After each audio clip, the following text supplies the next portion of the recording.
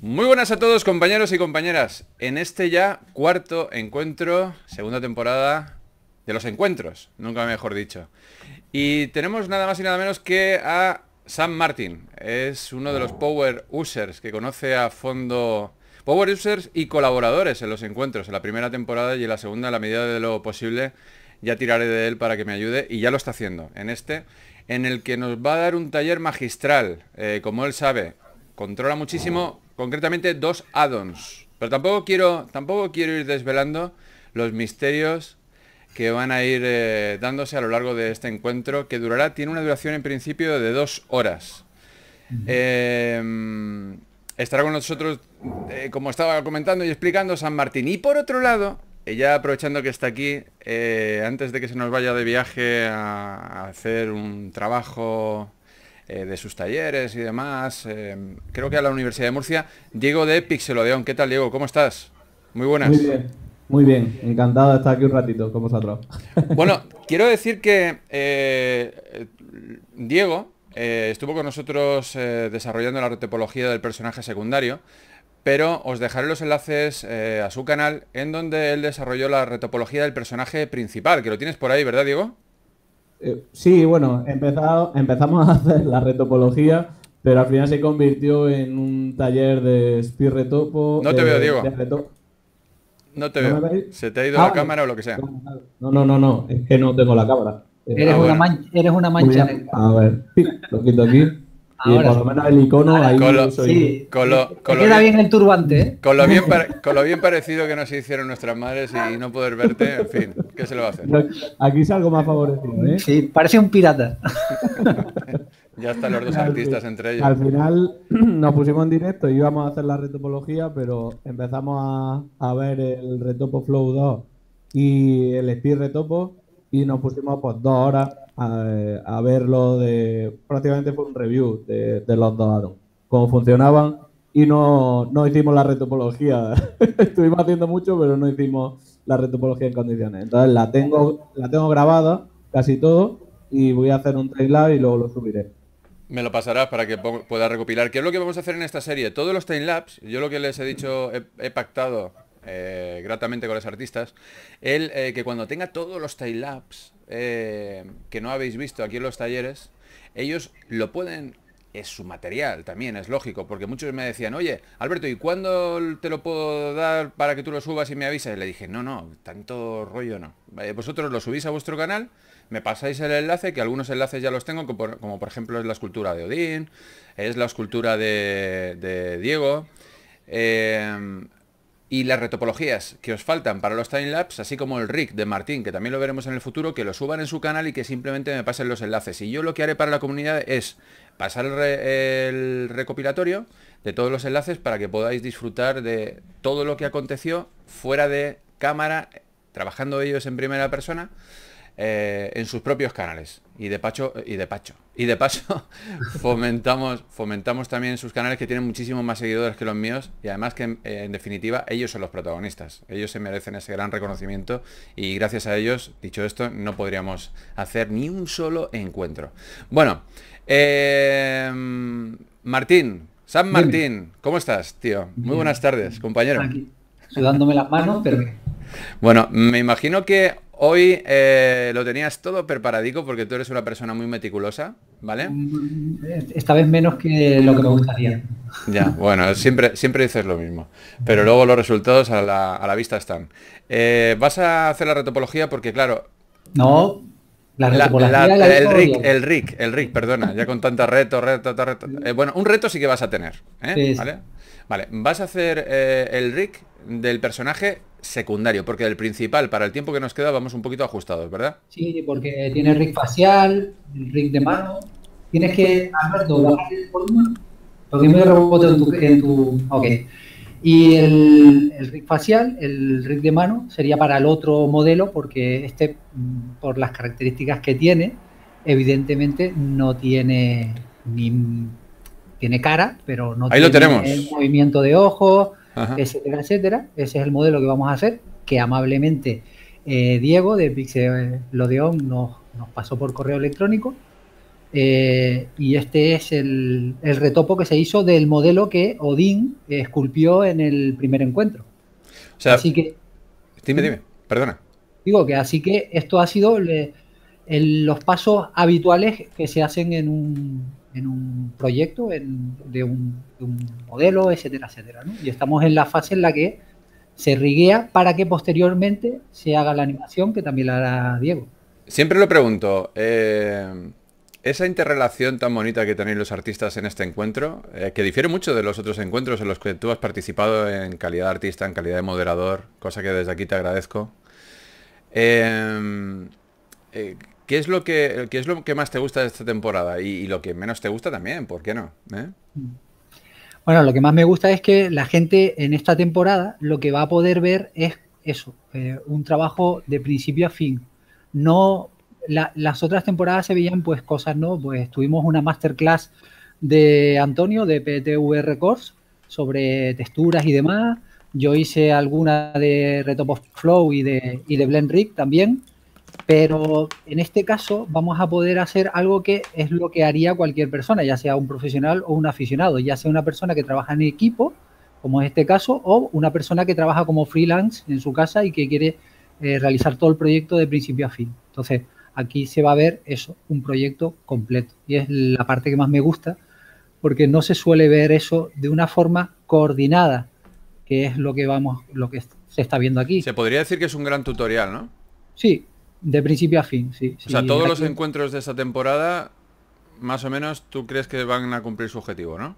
más que un tutorial sería un pasar por encima, porque evidentemente en dos horas eh, ni Diego ni Odín pueden dar eh, y, eh, contar todos aquellos detalles que al final te interesa contar, pero que tienes que ir a la velocidad que tienes que ir. Pero complementándolo con los timelapse y explicados y demás, pues yo creo que sí que puede servir. De todas maneras, esto también pone en manifiesto de que se pueden hacer cosas entre amigos y, y llevarla a buen fin, ¿no? Amigos y profesionales, que tenéis un nivelón que arreburra que chispea, como dicen en mi tierra.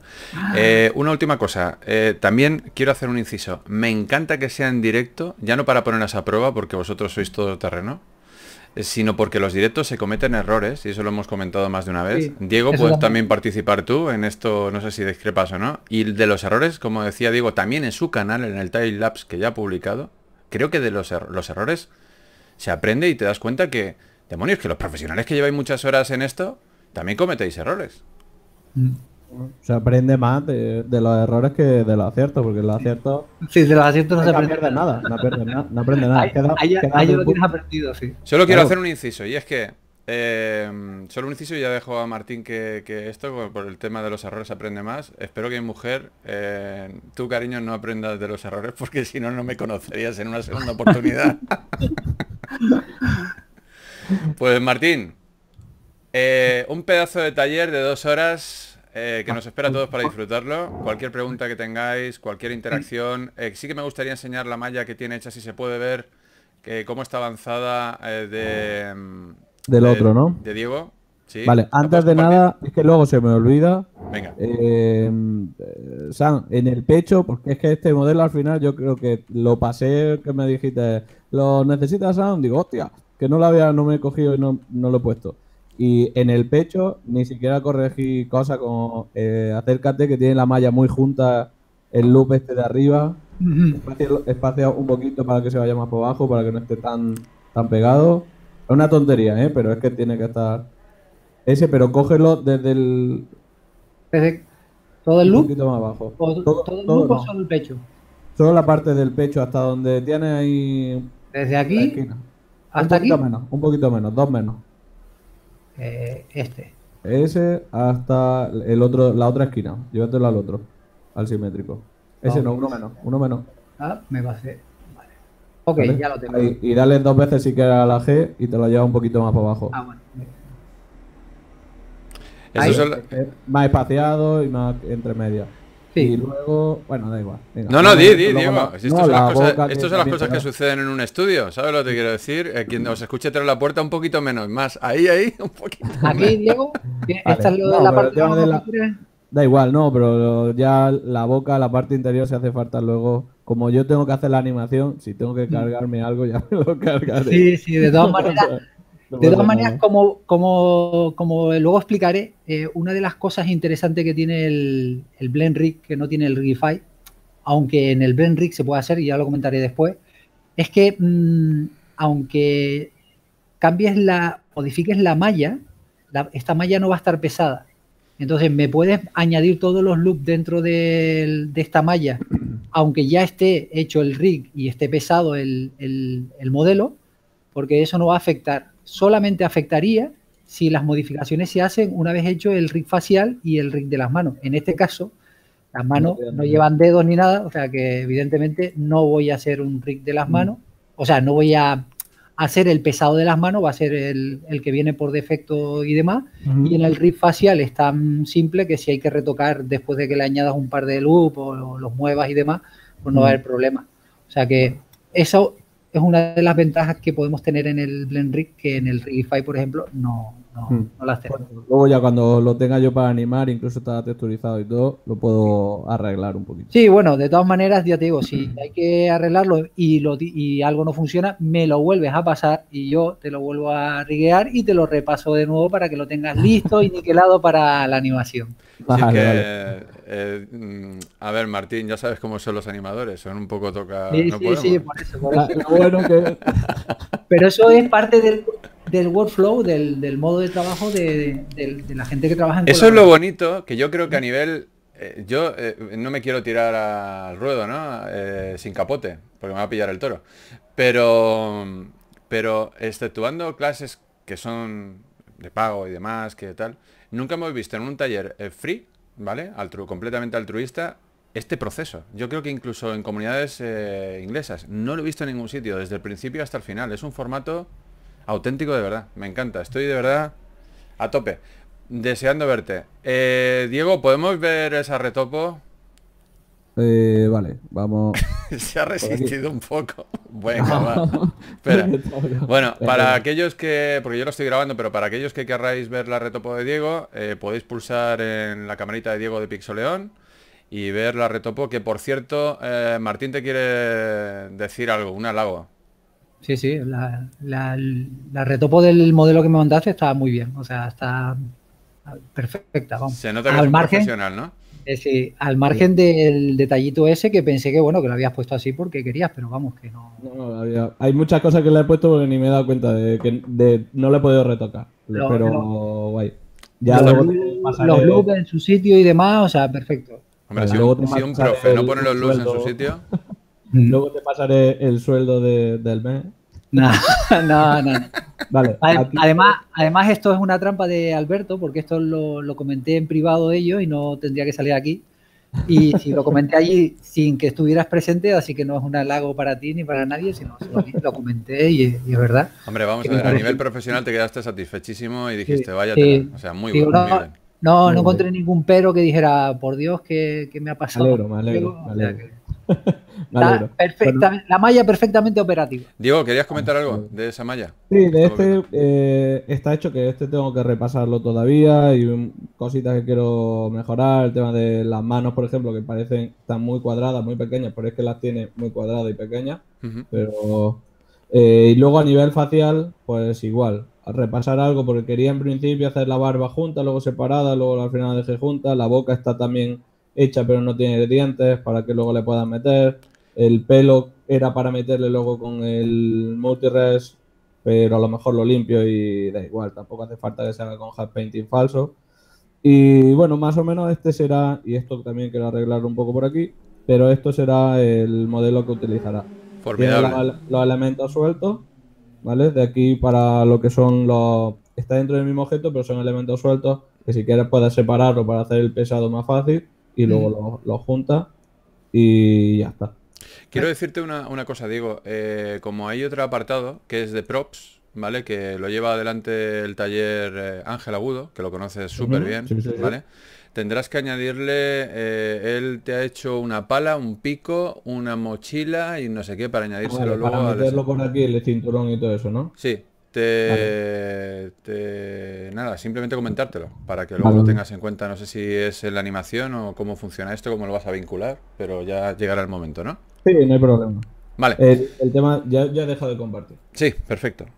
El tema de los props en realidad son objetos aparte que eso en programación ya se, se asocia dependiendo con el armature, con la animación que haga, que no está dentro de la misma malla, que a mí me da igual si hace 80, pues 80.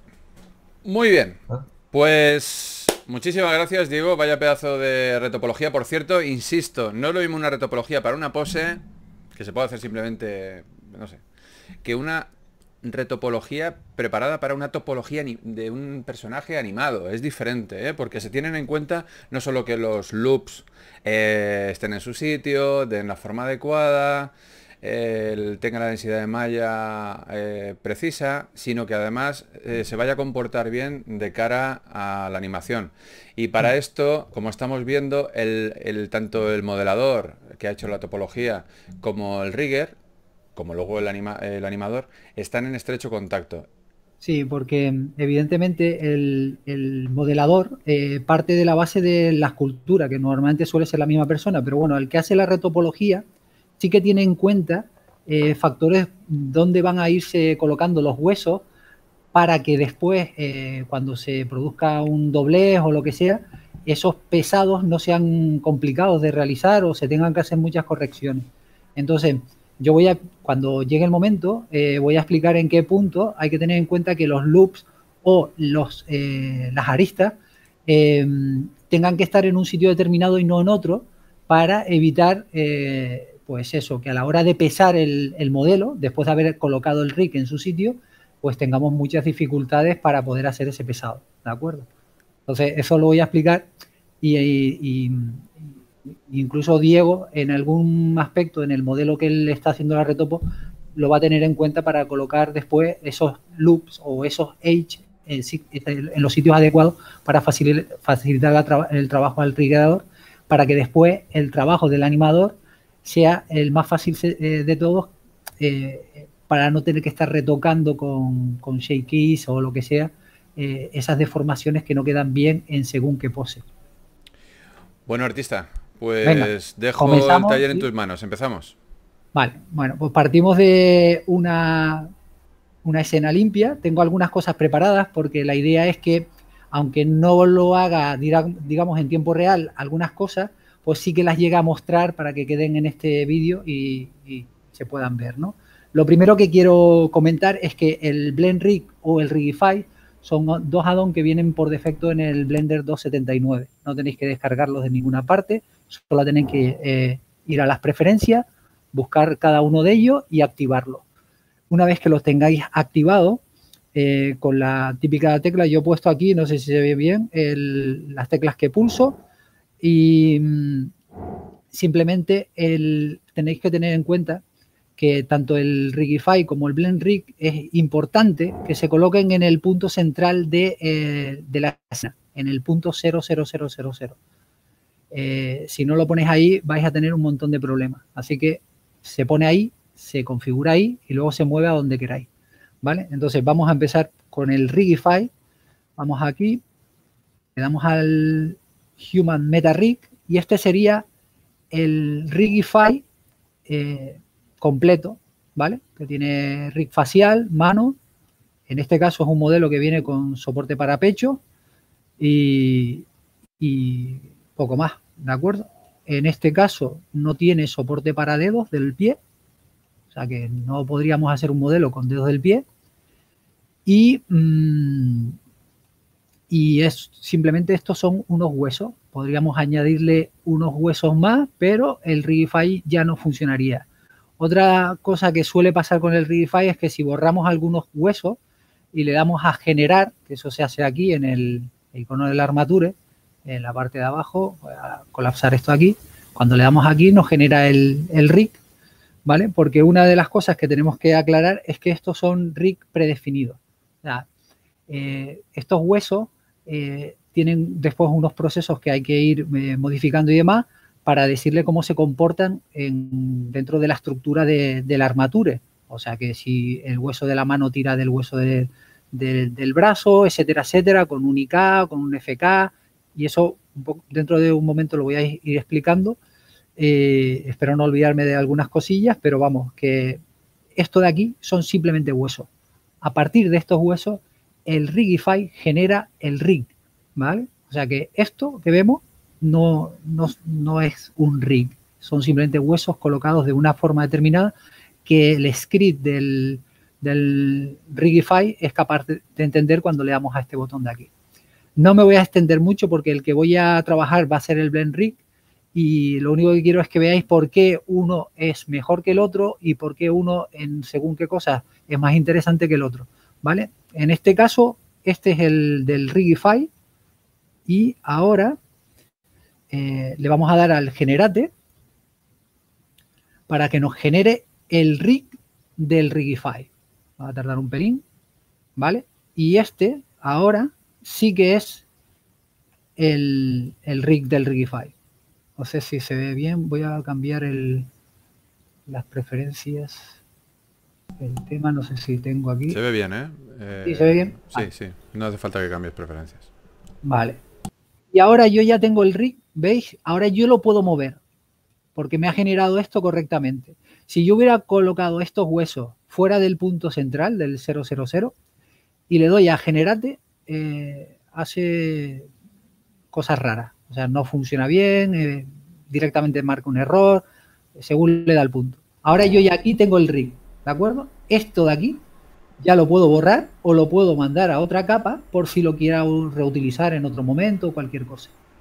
¿Vale? Mantengo el punto central aquí en el 00 con Shift S, le digo Cursor to Center y ahora voy a generar el, el del Blend Rig. Vale, ya tengo el del Blend Rig aquí, paso a modo pose, eso es importante, porque es otra de las grandes diferencias que tenemos con el, Rigify, y es que en el Rigify, cuando vayamos a colocar los huesos, eh, lo tenemos que hacer en modo edición. En el Blend Rig, los huesos se, eh, se colocan, digamos que en base a nuestro modelo, en modo pose, o sea, en modo como lo haría un animador, pero colocaríamos esos huesos y luego se marcaría. Bueno, pues principales diferencias entre el Blend Rig y el Rigify es que en el Blend Rig tenemos todo este panel de control para el, el Blend Rig, en el que tenemos una serie de capas en las que están el facial, el body 2, body 1, etcétera, etcétera. Aquí controlamos qué capas se ven en cada momento, o sea, no todas a la vez, porque para un animador sería un poco complicado mover alguno de estos eh, componentes, estos elementos, eh, si tuviéramos todos en escena. Por ejemplo, si los marco todos aquí, veis que se va llenando la pantalla de, conectores y buscar el que nos hace falta sería complicado. Aunque podemos utilizar este elemento que nos han puesto aquí para facilitar la labor, sigue siendo complicado de ver. Entonces lo que se hace es, se, se separan estos, estos mm, controladores por capa y entonces en cada capa pues voy moviendo según qué cosa. En esta del body son los esenciales para mover el modelo. Bueno, esto con respecto al Blend Rig. Con respecto al Rigify, ese mismo, ese, control que tenemos en el lateral de aquí, en realidad lo tenemos en este lateral de aquí. Las diferencias pues son obvias. Eh, tenemos los mismos controles para eh, habilitar o deshabilitar los que no queramos ver. Ahora mismo quedan deshabilitados todos menos el control principal, que sería este. Y si yo quiero, pues, los de la cara, habilito los de la cara, ahí están, los del Rigify, ¿vale? Si quiero los del torso, en el, lo que es el tweak, pero aquí me faltan algunos controles que tengo en el otro, ¿vale? El equivalente al, al Blend Rig lo tenemos ahora uno y otro, ¿vale? En uno marco, o sea, en este marco solamente esta capa y tengo, obtengo todos estos controles. En el otro marco la capa del torso y tengo que marcar este, este, que son los de IK, las piernas de IK y ya está.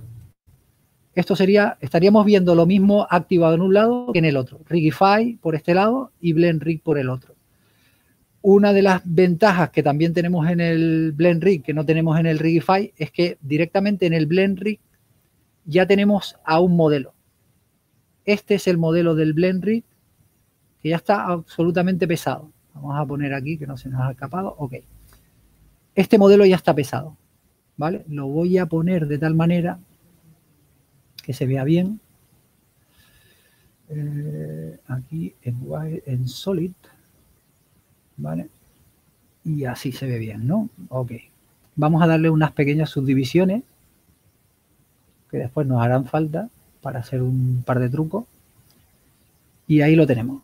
Este es el modelo que viene por defecto en el Blend Rig. En cuanto lo ponemos en marcha, el modelo este aparece en la segunda capa.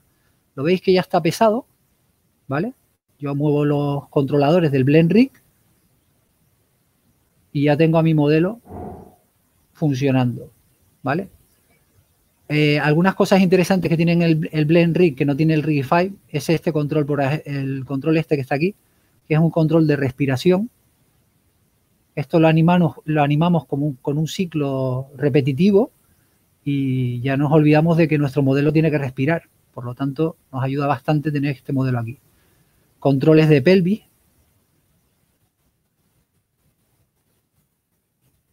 ¿Vale?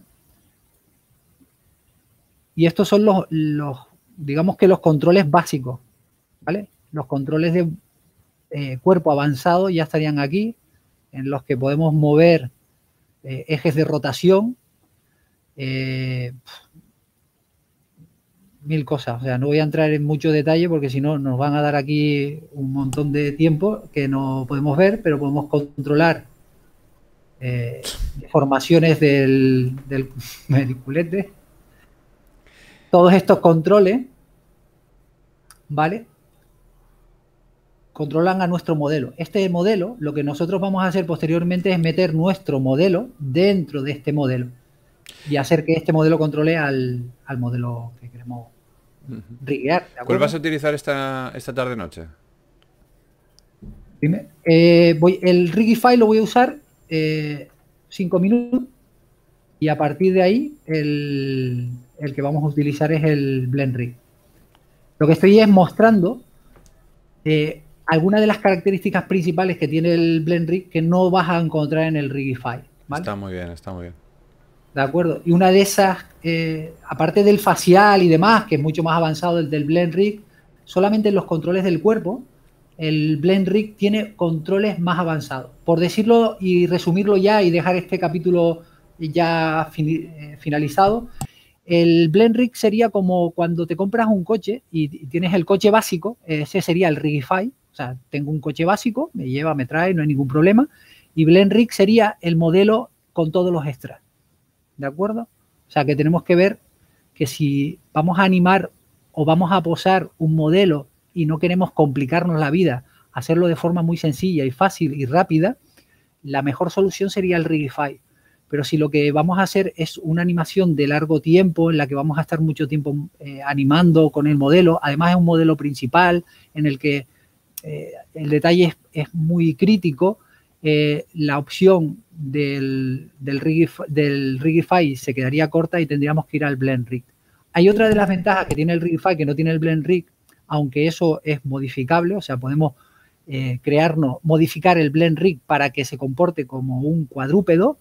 El Rigify sí que viene una, una serie de armaturas ya predefinidos, que son estos que vienen aquí, que es el Basic Quadrupe, que vendría para, ya para, para riguear un modelo con cuatro patas, ¿vale?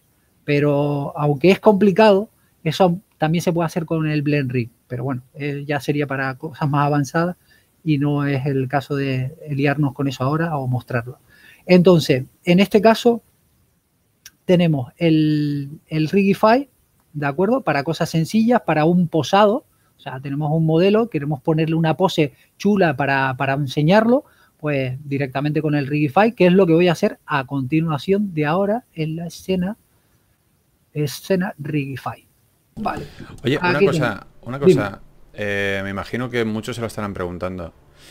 Vale, para producción, eh, cosas rápidas, necesitamos de add-ons, siempre. Da igual el programa que utilicemos, piense Maya, Max, en nuestro caso Blender, que tenemos dos extraordinarios add-ons, pero ¿y qué pasa con los huesos? Eh, mucha gente se estará preguntando, ¿y, los huesos para qué? ¿No? Mm, ¿Cuándo los vamos a utilizar los huesos que tenemos en todos los programas eh, para aplicar nuestras inversas, nuestras cinemáticas directas? Eh, los huesos del Rigify son completamente compatibles con los motores de juegos como el Unreal y el Unity, ¿de acuerdo? Ahí no tendríamos problemas. Para el Blend Rig ya no es compatible. Así que si nuestra intención es utilizar el, conjunto de huesos, el, rigging del Blender directamente en Unreal o en Unity, eh, nuestra única opción hasta que Pablo Bouza eh, le meta mano al Blend Rig y, termine aquello que, en su día empezó y que hace unos cuantos años dijo que lo tenía pendiente ese, tema, pues si lo termina o otro desarrollador continúa la labor de él, eh, pues sí que podríamos tener un blend rig para animación de, para videojuegos, ¿vale? Pero de momento, si lo pensáis enfocar para, para videojuegos, la única opción usando el Blender sería utilizando el, el Rigify. Y, sí, y con respecto a, a, usuarios noveles que desconocen los addons y demás, y no tan noveles, Mm. Eh, que quieren utilizar el sistema de huesos propios, sin addons, a pelo, de mm. Blender, ¿cuándo los animas a que utilicen este tipo de herramienta que, está ahí para utilizarla? Yo, yo, una persona, porque lo que nosotros estamos haciendo ahora no es creando un rig, lo que estamos haciendo es seteando un rig, o sea, estamos configurando un rig que ya está predefinido, pero yo, como suelo decir, lo que no se puede hacer es inventar la rueda cada vez que vas a trabajar, porque... Claro, claro. todo eh, el IK de un brazo humano es igual, esta gente ya, ya, lo ha hecho, no tiene ningún sentido, salvo que tu brazo se comporte de una manera totalmente diferente a la que se comporta el brazo de una persona, que te dedicas a hacer tú desde cero eh, un brazo con sus respectivas IKs, FKs, etcétera, etcétera. Totalmente de acuerdo. Lo, mm. lo, lógico es trabajar sobre la base de un Rigify o de un Blend Rig y hacer tus modificaciones, que eso es perfectamente válido y para automatismos robotizados y demás que se salen de lo convencional, entonces utilizamos huesos, ¿no? Como por ejemplo hacer un rig de un que, de un coche, por ejemplo, de un coche que la gente claro, la gente cuando piensa en rigs los experimentados no, pero los noveles, el rig dicen pues esqueleto, ¿no? La asocian a esqueleto de personaje. Pero no necesariamente tiene que ser así. No, de hecho, mira, ya que lo estás comentando, de hecho, una de las cosas que, mm, que la gente debería de pensar en un rig es eh, esto. Esto es un rig. Son los palitos que mueven esa mano que está arriba. Nosotros, el animador sería la mano. Nuestro modelo sería el, el de Toy Story, ¿vale? Y los hilos serían nuestros huesos que mueven al modelo. Entonces, si queremos que una rueda, que no deja de ser un modelo 3D, unos vértices y demás, que se mueva, que gire, que se comporte de una manera determinada, tendríamos que colocarle un hueso. El hueso es el hilo, no el hueso que aparece donde lo ponemos. O sea, que deberíamos de pensar siempre en el rig como los hilos que mueven a nuestro modelo, ¿de acuerdo? Y los controles, que son aquello que nosotros movemos como animador, eh, esos no dejan de ser huesos también, o sea, huesos que hemos eh, digamos que modificado para que tengan un aspecto diferente, pero luego incluso lo voy a, lo, enseñaré para que veáis que cuando estáis viendo el, modelo eh, y estáis viendo ya un control, ¿vale? Eh, si por aquí, este control de aquí, por ejemplo, lo voy a mostrar ya, ya que estoy hablando del tema. Esto de aquí es un control, ¿no? Y en teoría nos sirve para mover el modelo balanceándolo para, para acá y para allá, lo podemos rotar, etcétera, etcétera. Esto sería uno de esos palos que mueven el hilo, ¿vale? Si queremos ver el hilo de este palo, tendríamos que ir al modo edición y ahora ahí, ahí escondido entre 400 huesos que están metidos aquí dentro, está nuestro hilo, ahí dentro. Este, ¿lo veis? Ese es el hilo, ¿vale? Pero en vez de estar moviendo ese palo que está metido ahí dentro, en el modo pose, el palo se convierte en este control de aquí, ¿de acuerdo? Y eso es lo que en realidad eh, estamos haciendo cuando estamos eh, rigueando algo. O sea, estamos colocando huesos, le, dan el nombre de hueso, pero realmente no son huesos, no, los tenemos que interpretar como los huesos que están debajo de nuestra carne y demás, sino como los hilos que mueven aquellos objetos que queremos mover. Pues una vez ya introducido en el escenario del rig, estableciendo las diferencias y la similitud que hay entre un addon y otro, entre Blend, Ricky, y Rigify, Martín. Vamos, vamos rápido al tema vamos, del Vamos a esto y también te quería hacer una pregunta rápida, eh, porque mucha gente se aturde con esto y lo entiendo, eh, son mm. muchas cosas. Eh, cuando tú estás creando un rig, ¿estás pensando en, cinemática directa o inversa? Por ejemplo, ¿te tendrían que dar instrucciones de lo que va a hacer el personaje o no necesariamente? El, el que le da las instrucciones al rigger es el animador o mm, digamos que el director de arte o el director de animación, o sea, el rigger no trabaja ciega. Evidentemente tiene unas características, este personaje tiene unas características específicas, eh, no tiene dedo, o sea, sus dedos no van a ser movibles, el animador no va a mover dedos, por lo tanto el rigger tiene que saber esa característica, o sea, mira, no, no hace falta que te trabaje el, el rig eh, de las manos porque prácticamente eh, va a tener los puños cerrados y no se van a mover.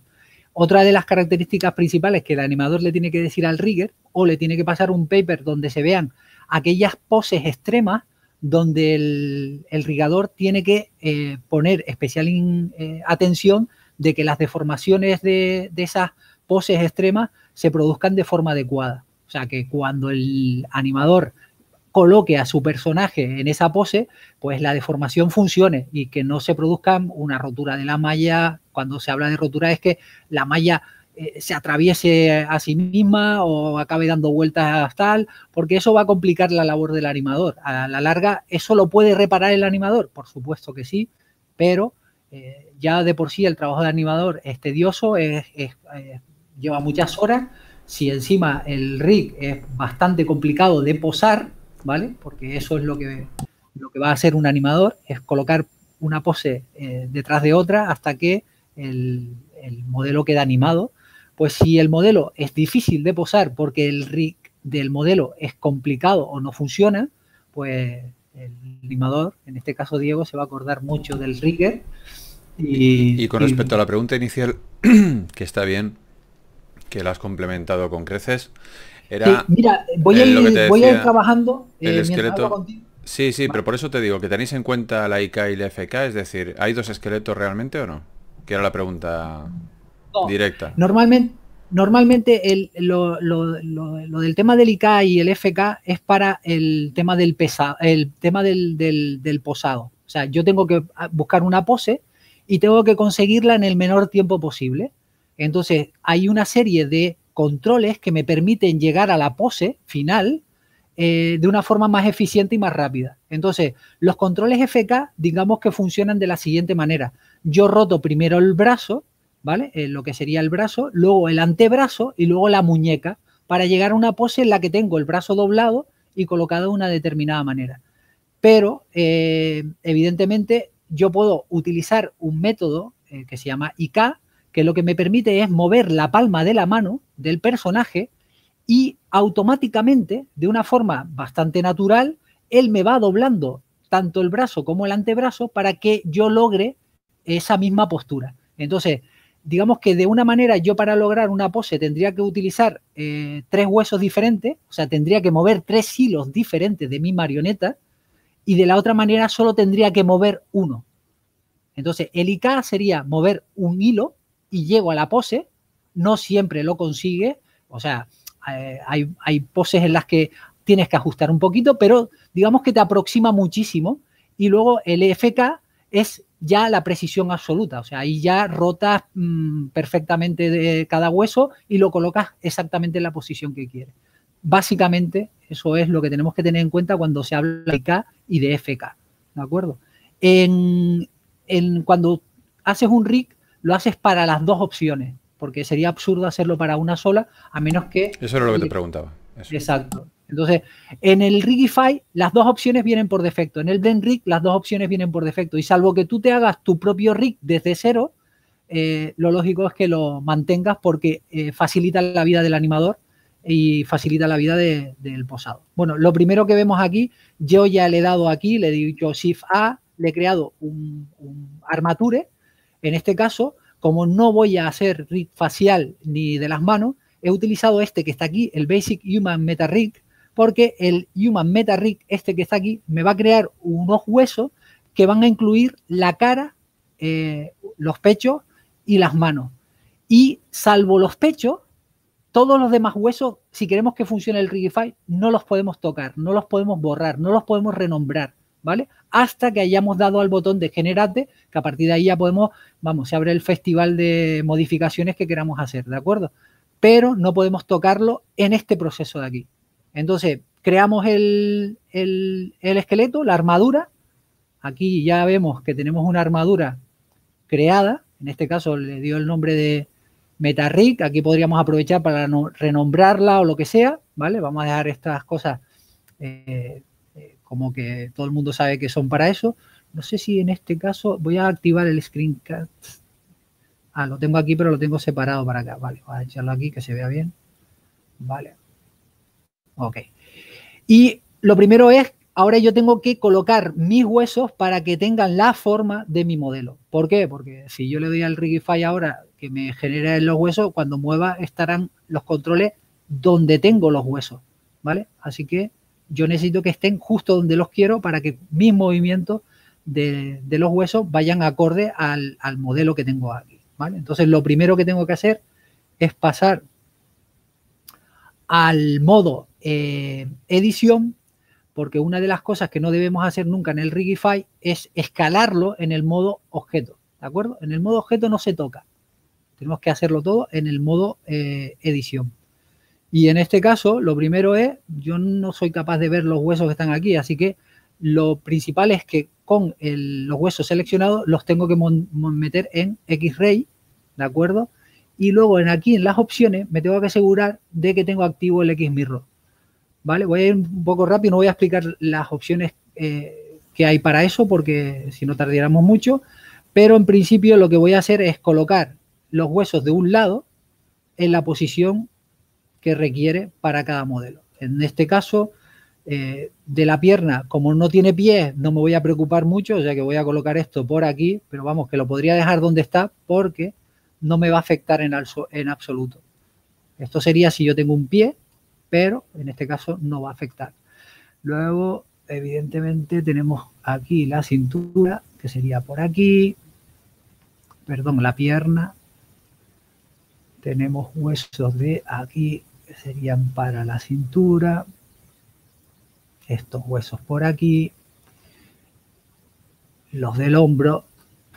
No lo voy a hacer eh, directamente colocándolos en su sitio, lo estoy haciendo rápido para que veáis el funcionamiento, porque ya yo esto lo tengo hecho, ¿de acuerdo? Y así no, perdemos el tiempo con este. Uno de los trucos que yo suelo utilizar para colocar los huesos es yo activo el snap, el, este de aquí. Lo activo en modo cara eh, y o bien activando aquí el, el, imán para que ya lo haga directamente, cosa que yo no hago, yo pulso la tecla control y por ejemplo muevo este hueso, pulso aquí y ya él, digamos que me los va colocando, aunque yo, lo, yo esté en una perspectiva diferente, más o menos donde lo quiero, ¿vale? Aquí, luego este aquí.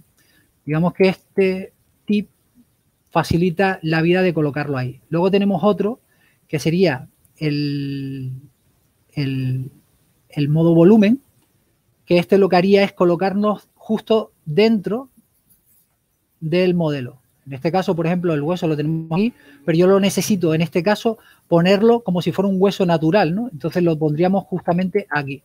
Y ahora...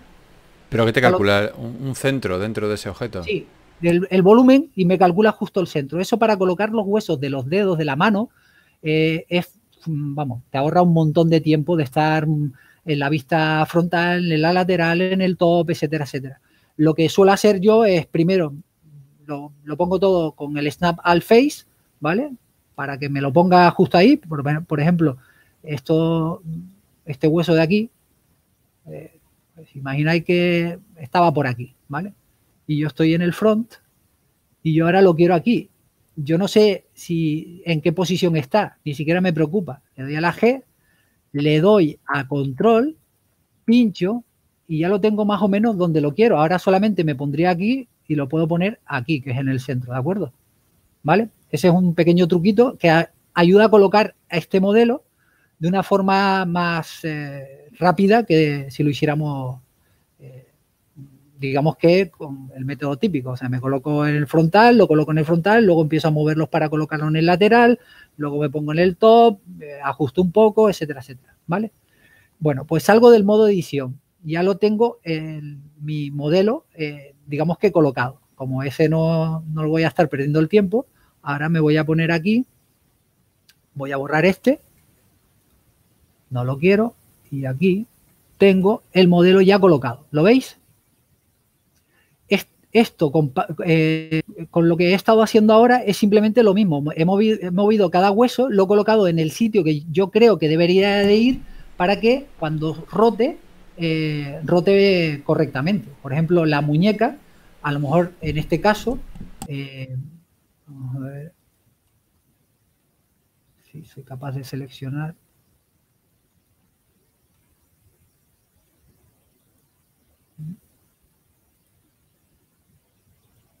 Ahí. Vale.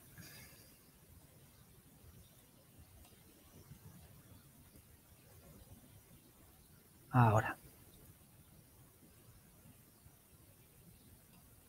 En este caso, por ejemplo, el doblez de la muñeca vendría a quedar aquí, ¿vale? Si, si eh, estimamos que nuestra muñeca de este modelo, que es bastante difícil de ver porque tiene unos brazos eh, en los que la muñeca y el antebrazo prácticamente forman un bloque, pues tendríamos que colocar este, esta unión, ¿vale? Justamente donde creemos que se produce ese doblez. En el caso del codo, estamos hablando de lo mismo, yo lo he puesto aquí, en el caso del hombro, lo mismo, en el caso de la clavícula, en el mismo sitio y así sucesivamente. O sea que nosotros somos los que definimos dónde se produce el doble en función de que si dobláramos este modelo, pues se doblaría por ahí, ¿de acuerdo? Eso es a gusto de, del rigador y con las instrucciones que le ha dado el modelador, etcétera, etcétera. Martín, disculpa. Para aquellos que se les esté yendo la pantalla o el sonido o la imagen, ¿vale? Yo lo veo perfectamente, pero no todo el mundo lo puede ver así. Eh, tenéis que darle a F5 que simplemente refrescar. Le dais a F5, volvéis a entrar, porque he visto que ya han salido dos usuarios, por ejemplo Solimán está entrando y saliendo, me imagino que igual tiene algún problema de imagen, y volvéis a refrescar el navegador y se vuelve en principio a ver, ¿vale? Todo bien. Disculpa. Ok, sigo. Bueno, pues lo siguiente que tenemos que hacer una vez que hemos colocado todos nuestros huesos es salir del modo edición, entrar en el modo eh, objeto eh, seleccionamos a, nuestro modelo, seleccionamos, eh, a ver si soy capaz, no sé qué está pasando aquí.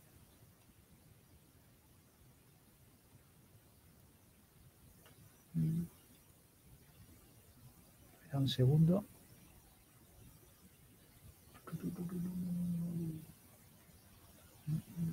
¿Hay alguna dificultad para seleccionar huesos ahora? Pues parece como si no pudiese seleccionar los huesos a través de la malla. O sea, puedo seleccionar los huesos, pero si lo pillo a través de la malla, si ahora, ¿vale? Ok, malla, si estoy capaz, hueso, ¿vale? Bueno, los problemas, alguien seguramente está apuntando por ahí donde estoy metiendo la pata ahora, pero vamos, no sé,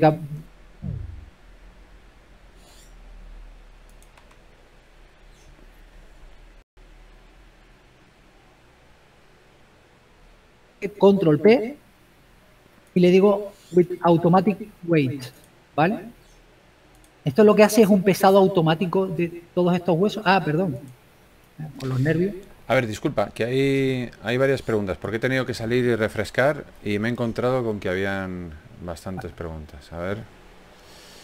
Eh, se lo está mostrando, seleccionado que está... Nada, nada, nada, sigue. Vale, una vez que tengamos el modelo, en este caso, ¿vale? Lo siguiente que tenemos que hacer, vamos a quitar este de aquí, vamos a poner este de aquí, este es generar el Rigify. Vamos aquí a Armature, al icono del, del Armature, vamos a donde tengamos las opciones de Rigify y aquí tenemos un botón que pone Generar de Rigify. Le damos y ya tenemos el rig hecho. Esto sí es el rig, ¿de acuerdo? Entonces yo selecciono el rig, le doy a la M y me lo llevo a la segunda capa para tener esto aquí, este modelo, y ahora ya tengo mi modelo y el rig de mi modelo. Pero si yo muevo en modo pose el rig que acabo de crear, evidentemente el rig se mueve, pero nuestro modelo no lo acompaña. Entonces tenemos que ahora meter el modelo, hacer lo que se llama un pesado, para que cuando yo mueva este control, los vértices de mi modelo se muevan eh, acorde al pesado que yo haya establecido. Que eso se puede hacer de forma manual o utilizando una opción que viene en el Blender por defecto, que es el Automatic Weight, que para lo que vamos a hacer ahora funciona espléndidamente y yo recomiendo que lo hagáis de entrada y que luego si queréis un ajuste fino, pues ya utilizáis el Weight Paint y os ponéis ahí a retocar, ¿vale? Pero en principio vamos a hacer con el Automatic Weight y el procedimiento es el siguiente. Eh, seleccionamos al modelo, seleccionamos el rig, control P, with automatic weight, ¿vale? Y parece que no ha pasado nada, pero si yo ahora cojo el, el IK de la mano izquierda y lo muevo, ya tenemos a nuestro modelo directamente pesado, directamente, a ver, que ese es un control, voy a quitar aquí los controles FK, este, este, y nos quedamos solo con los controles IK. ¿Qué ha pasado con los FK? ¿Que no los pesa o algo o qué? No, no, que, a ver, mira, que te veo que, lo del IK y el FK no, te acaba de, de Hombre, no, yo lo hago por la gente que tiene que saberlo, lo del FK y el IK, imagínate. Mira, el control de la mano izquierda está ahora seleccionado el modo IK. ¿Lo ves aquí? L, eh, L, IK, en el ARM, ¿vale? O sea que si yo muevo con la G, que sería para mover, es que me dobla el brazo, lo está moviendo, lo rota, lo dobla y demás. Vale, yo este modelo, como no va a ser un tipo cartoon, sino yo quiero que cuando yo le mueva la mano no se me estire el brazo, pues yo aquí le digo que el stretch no lo quiere. Entonces yo ahora muevo esto y ahí se queda, ¿vale? Aunque lo estire, el brazo se va hasta el tope que él tiene. Vale, pues yo ahora digo, no, pero yo quiero ahora hacer un control del, del FK porque yo aquí eh, voy a rotar la muñeca, pero no me queda bien, ahora quiero rotar el brazo hacia arriba, pero y no, no soy capaz. Entonces yo ahora necesito unos controles mucho mejor, me voy aquí al ARM, el L, sí, ok, vamos a decirle que los quiero en X-Ray, ok, ya se ven, ¿Vale? Y ahora yo aquí... Aquí.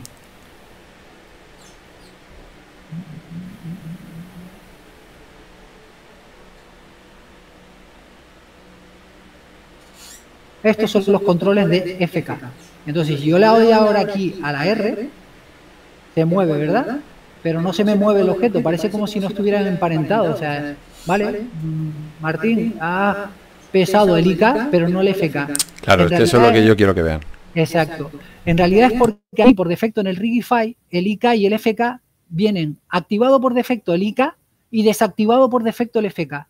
Si yo a este control de aquí, cuando toco cualquiera de los controles del FK, esto de aquí me aparece. Entonces, si yo voy aquí, le digo, muéveme del IK al FK, ¿lo veis? Mágico. ya ha subido arriba. El IK, el IK está aquí, ¿vale? Y el FK está aquí. Y yo puedo pasar de uno al otro. O le puedo decir, mira, yo quiero que de la pose IK también se, se, vaya donde está la pose FK, porque lo quiero todo en el mismo sitio. Pues tengo unos switches aquí y yo le puedo decir, mira, snap IK a FK. Yo le doy ahí y automáticamente ahora ya tengo el ICA exactamente donde tenía el FK, ¿vale? ¿Por qué? Porque yo ahora digo, bueno, ya he posado el IK donde más o menos lo quería, pero yo quiero un ajuste fino. Entonces voy con el FK, lo pongo aquí, activo esta opción y ya lo tengo ahí. ¿De acuerdo? Vale, es que esto es muy interesante, quería que lo vieran los que están, los que lo verán en diferido y los que están en directo, porque a mí me resulta de sumo interés el que sepa la gente cómo se puede llegar a un ajuste fino de un FK un IK y de una forma tan inmediata con este addon. O sea, yo sé que lo veo útil, ¿sabes? Exacto. Vale, pues como veis, he tardado, eh, eh, evidentemente con la explicación he ido lo más lento posible para no eh, tal, pero esto en, en cuestión de cinco minutos, una persona que lo haya hecho antes lo puede hacer perfectamente, incluso en menos, ¿vale? Y una vez que yo ya tengo hecho esto, aquí tenemos el modelo en baja poligonización que hizo amablemente Diego Molle, pero aquí yo ya le he aplicado el, esto lo voy a pasar hacia arriba, yo le apliqué una técnica que creo que la explicaba Diego Moya en el, en el, directo, en el encuentro de, de, retopología, que es utilizar el, screen wrap, vaya, lo he dicho bien, a la primera, no me lo puedo ni creer, eh, y el multires, ¿vale? Para, vemos ahora que nuestro modelo lo voy a llevar hasta el punto número 5, y ahora nuestro modelo, digamos que tiene las características del esculpido aquí, pero es completamente móvil. Bueno, lo de completamente es porque evidentemente depende de tu máquina y de la cantidad de polígonos que es capaz de mover, pero evidentemente, aquí lo vamos a pasar al, ICA, ¿vale? Y como veis, modelo, ese es el modelo de alta ya, ¿verdad? Si este, estoy moviendo el modelo de alta, que he pasado al modelo de baja. Esto en realidad no se haría así porque no es lo normal. Sería, una tortura para el animador animarlo así. El animador lo que suele hacer es animarlo en baja poligonización y luego el texturizador haría una mezcla entre esto y unas texturas vaqueadas de la, del normal map para que eh, diera el pego de que... Sí, ya lo veremos más adelante. Vale. Y bueno, una vez terminado esto, quedaría algo parecido a esto de aquí. Esto sería el modelo ya corregido los pesos y demás, ¿vale? Y aquí le hice una pequeña animación, el modelo más o menos moviéndose, no sé, no, sé, está, no se va está, está cabreado, ¿eh? Sí, voy a, no, lo has puesto, no has hecho esas poses tuyas cómicas, qué, qué, pena. Voy a ponerlo en una resolución que, que un poco se pueda mover y a ver si en la animación pues se ve. Ahí está. ¿Vale? Y esto está hecho todo con el Rigify. O sea que para algo muy sencillo y demás, pues esto se puede hacer en cinco minutos, ¿de acuerdo? Pero nosotros vamos a hacer el del Blend Rig, eh, que es muchísimo más complicado en un principio, pero a cambio lo que nos va a proporcionar es un mayor control. O sea, en el Rigify, mm, sí, es rápido y demás, eh, funciona, ya lo habéis visto, eh, se puede hacer eh, sin mucho jaleo, porque aunque yo el paso de colocar los huesos cada uno en su sitio, creo que todo el mundo entiende que al final es simplemente colocarlos en su sitio, eh, el procedimiento es el que, el que acabáis de ver. O sea, simplemente una vez que los coloco, le aplico la, la malla, hace un pesado automático y luego simplemente coloco mi modelo en las posturas extremas y con el weight paint eh, lo, que, lo, que, lo que se suele hacer es corregir aquellos pesados que no hayan quedado correctamente para esas eh, poses extremas, ¿de acuerdo? Pero eh, a cambio pierdo control, pierdo la posibilidad de cambiar huesos de sitio, unos ajustes que tiene el Blend Rig que no, que no vas a encontrar en el Rigify, ¿de acuerdo? Entonces, empezamos con el... Antes de, que, antes de que empieces, que hay alguna cosita que preguntarte. Eh, vamos viendo tiempo, creo que son y 10, te quedan 50 minutos. Tú vete cortándome que tú sabes que No, no, no, no, vas perfecto, vas perfecto. Yo creo que todo lo que se ha dicho, si tenéis alguna pregunta, eh, tanto San Martín, que es el artista invitado, como yo, eh, que estoy en calidad de moderador y os invito a que hagáis preguntas, no os cortéis, de verdad. Tanto si queréis entrar en directo de viva voz con el micro, como en el chat, que lo estoy supervisando en todo momento, ¿vale? Cualquier duda que tengáis, de verdad, Estamos en el directo, aprovechad para hacerla, no os cortéis. Mm. Que para eso está Martín, para eso estamos aquí, eh, para que aprendamos entre todos un poquito más, ¿no? De estos artistas. Eh, Martín. La, idea es que, aprenda todo el mundo. Hombre, el, que tenga cualquier duda que pregunte. O sea, que es no que es lo bonito del, directo, Martín. Que lo hacemos para, eso, precisamente. Lo hacemos para la comunidad. Claro. Porque si no haríamos un video tutorial y hasta luego, o sea, y ya está, lo presentaríamos y el que entienda algo bien y el que no, pues que...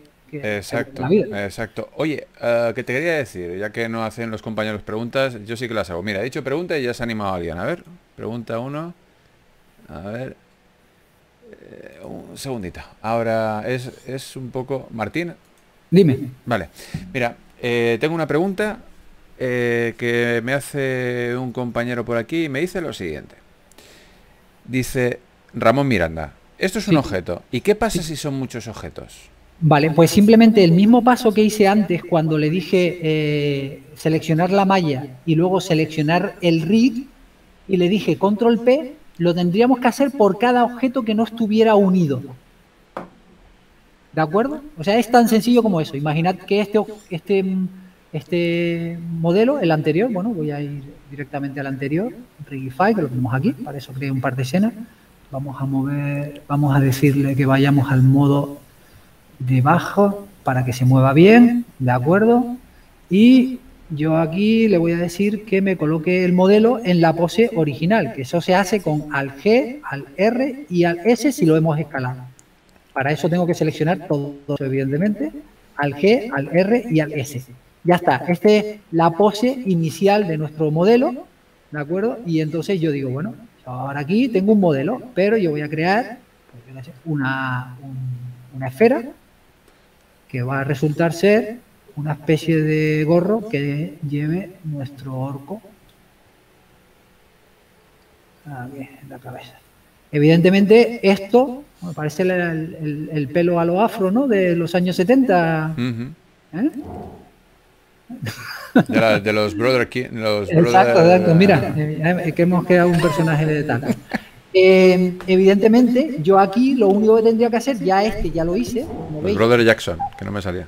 Exacto. Este objeto ya está vinculado, ¿lo veis? Puedo moverlo, pero si yo muevo eh, todo el objeto, eh, la bola no se mueve. Y yo quiero que la bola se mueva. Entonces, lo único que tengo que hacer para que la bola esté igual de pesada con, el, con el modelo es seleccionar la bola, seleccionar el rig, ¿vale? Y control P, y aquí tenemos que decidir, como la bola yo solo quiero que se mueva cuando se mueve la cabeza, lo lógico sería asociarla a un solo hueso en concreto, ¿vale? Eh, pero bueno, vamos a poner que no, y lo vamos a poner aquí, automatic weight, ¿de acuerdo? Entonces ahora yo cojo, muevo aquí, y hola, ya soy un señor de los años 70 del barrio del Bronx. ¿Qué pasa, tío? ¿Lo veis, no? Pues sería igual, o sea, si tiene una camisa, si tiene unos zapatos... Es lo que te iba a decir ahora y creo, que Ramón eh, quedará respondida la pregunta porque a continuación precisamente se adelantaba lo que tú acabas de explicar ahora. Dice sencillo pero laborioso. Mm. Se pueden seleccionar todos los objetos y el último el rigging, dice, lo digo porque los personajes llevan props, ropa, etcétera. Sí, exactamente. Se puede hacer individualmente, o sea, uno por uno, o eh, de la misma manera seleccionando todos los objetos primero y luego seleccionando el, rig y luego dándole la, orden de que haga el pesado automático. ¿De acuerdo?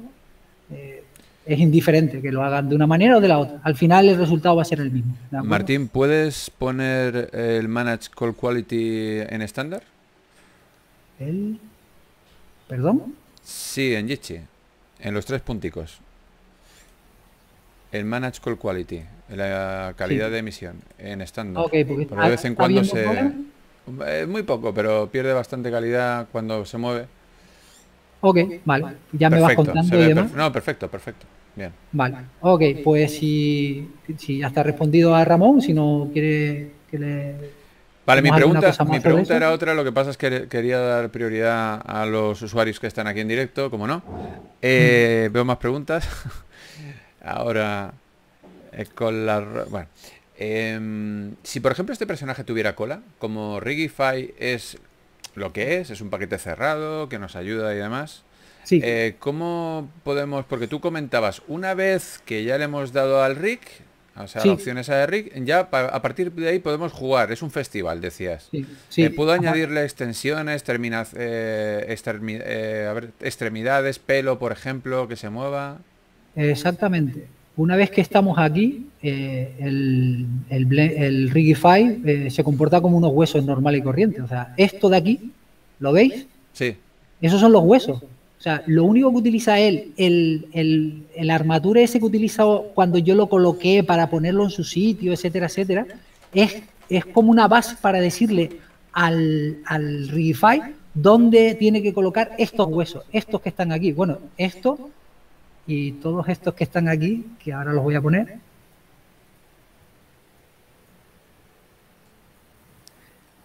esto es lo que genera el Rigify. ¿A partir de, de qué?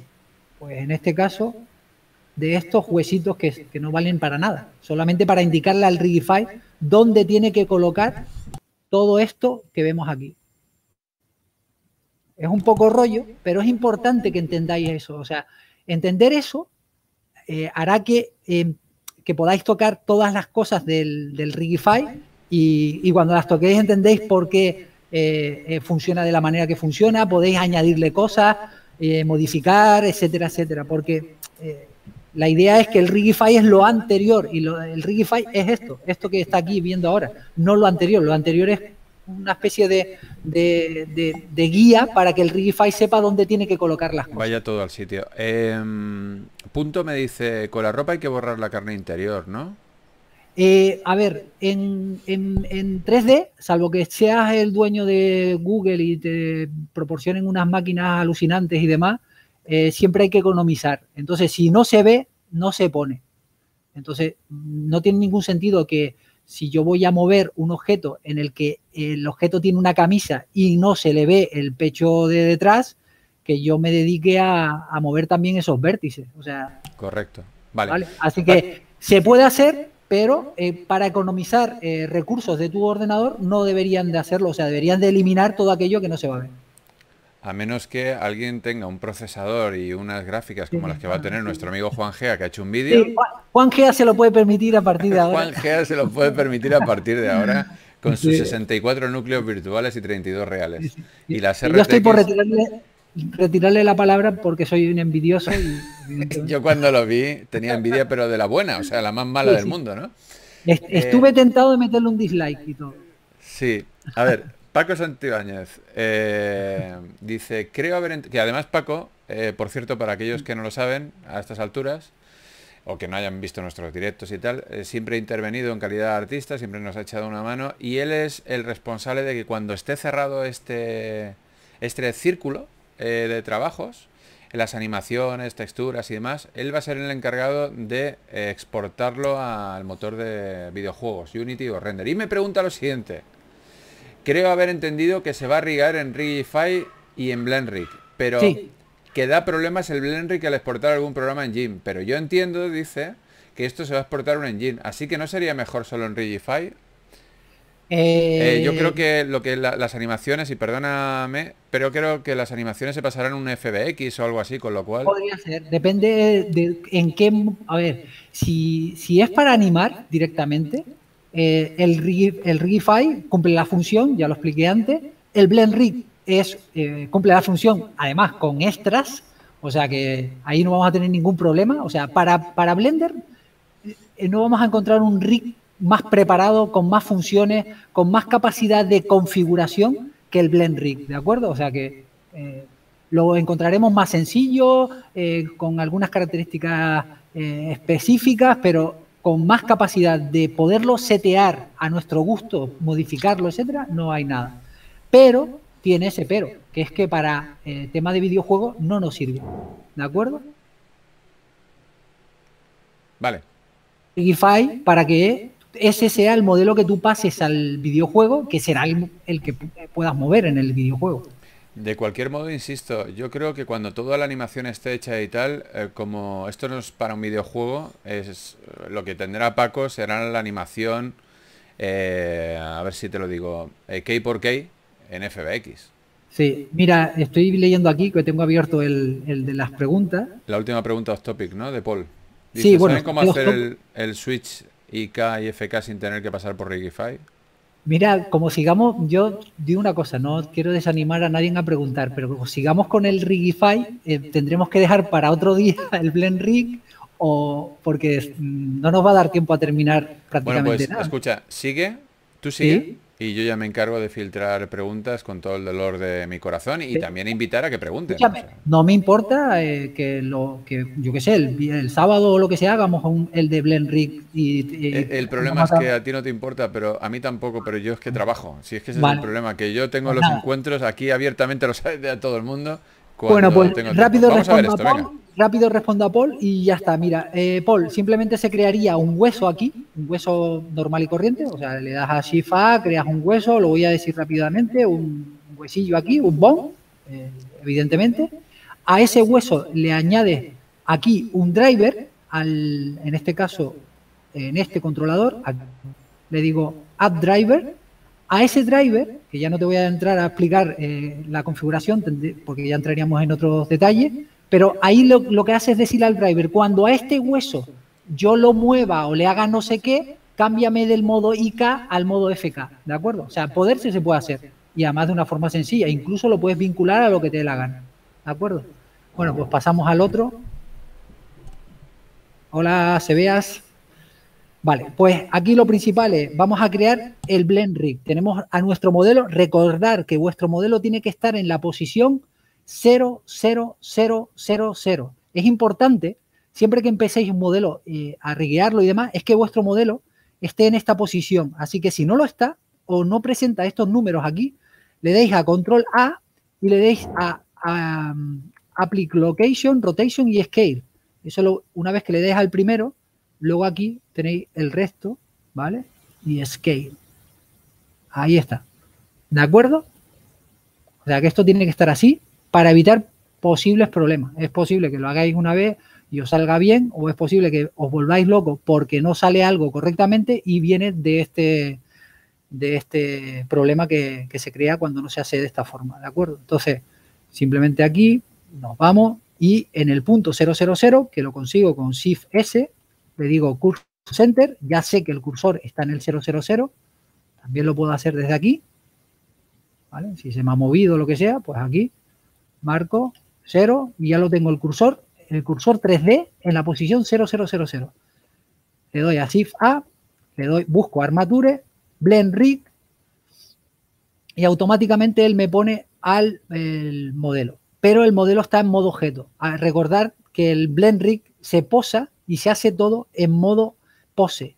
¿De acuerdo? O sea que lo principal es seleccionarlo, eh, aquí, seleccionarlo y pasar automáticamente a modo pose, ¿vale? Sabéis que está en modo pose porque los, los controles eh, adquieren colores, ¿de acuerdo?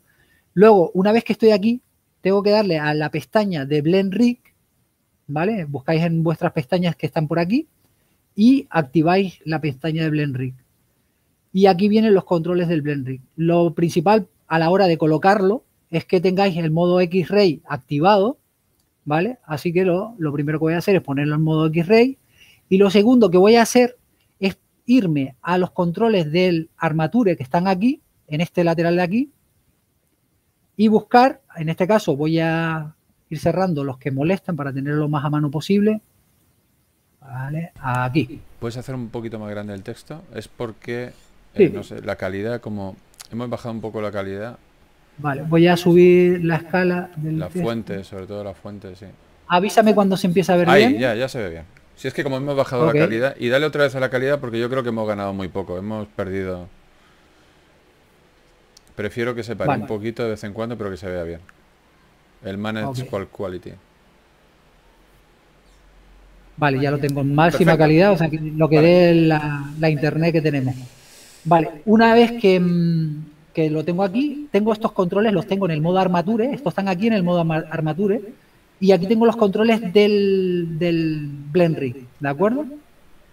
No, lo primero que tenemos que ir es al modo en el que vamos a eh, decirle, quiero colocar este, este esqueleto, tal como hicimos en el Rigify, lo tengo que colocar tal como tengo mi modelo. O sea, tengo, porque ahora mismo el modelo eh, que me va a mover el, el Blend Rig es este de aquí, Este, verde de aquí. Este es el que va a mover, ¿vale? Porque ya está pesado ahí. Luego os explicaré por qué, pero quedaros con esa, ese detalle de que realmente ahora mismo lo que está moviendo es eso y lo que quiero es que mueva un modelo similar a este. Por lo tanto, me tengo que poner en esta posición, ir aquí a Baking... Bueno, primero irme aquí a Layer y en Layer activarlas todas. Aquí aparecen 32 layers que antes no estaban, porque por defecto viene en el modo compacto, que sería este que está aquí, serían estas. Hay un modo expandido y luego el modelo que necesita está aquí en layer, que solo vienen 24, tenemos que colocar 32, ¿vale? Aquí le vamos a poner el bone, auto hiding, o sea que cuando pasemos de un sitio a otro automáticamente nos, nos las va a ocultar, ¿de acuerdo? Vale, aquí. Ahí está. Y ahora vamos aquí al rigging baking, ¿vale? En el rigging baking tenemos este botón que pone reproportion mode, ¿vale? Y si alguno estuvo en el taller que hice yo sobre Blend Rig, se acuerda que tuvimos problemas para pronunciar la palabrita. Al final la bautizamos como repro, ¿vale? Pues yo deciros que todas estas capas que están aquí, que tienen un nombre, se pueden renombrar y eso se hace justo donde estoy ahora. Así que yo, para no liarme y, hacer el ridículo más de una vez, voy a cambiarla, la voy a llamar repro y ahora se llama repro, ¿vale? O sea que una vez que yo le doy aquí a repro mode, se me activa aquí el repro mode. Es importante que eso se haga desde aquí y no desde aquí, porque si se hace desde aquí, nunca estamos dentro del modo de posicionamiento de los huesos para que se ajuste el modelo eh, de hueso a nuestro modelo. Por lo tanto, es importante que se haga de aquí y no de aquí. ¿De acuerdo? Bueno, pues lo primero que tenemos que hacer es coger este de aquí, este control de aquí, el azul, ¿vale? Y lo tenemos que ajustar donde creemos que nuestro modelo tiene su cintura. Lo movemos. Y bueno, un poquito barrigón. Pero vamos a fijarnos más o menos en la espalda. Es importante que a nuestro modelo le activemos la, que se vean los loops y, las aristas para que podamos fijar los puntos donde queremos colocar los huesos, ¿de acuerdo? O sea que eso se hace desde aquí, desde esta cajita, nos vamos aquí en display y le decimos que nos muestre lo, toda digamos que todas las aristas y, demás. Si vemos que a nuestro modelo eh, se ven más de la cuenta, pues cuidado si tenéis puesto el, el, el, multi, el multires, pues tendréis que activar el Optimal Display para que no se vea una barbaridad de, de líneas que al final en vez de ayudar lo que hacen es eh, enturbiar más, ¿de acuerdo? Pero en este caso, como el modelo que nos pasó Diego está en muy baja poligonización, eh, nos viene perfecto porque lo queremos así precisamente.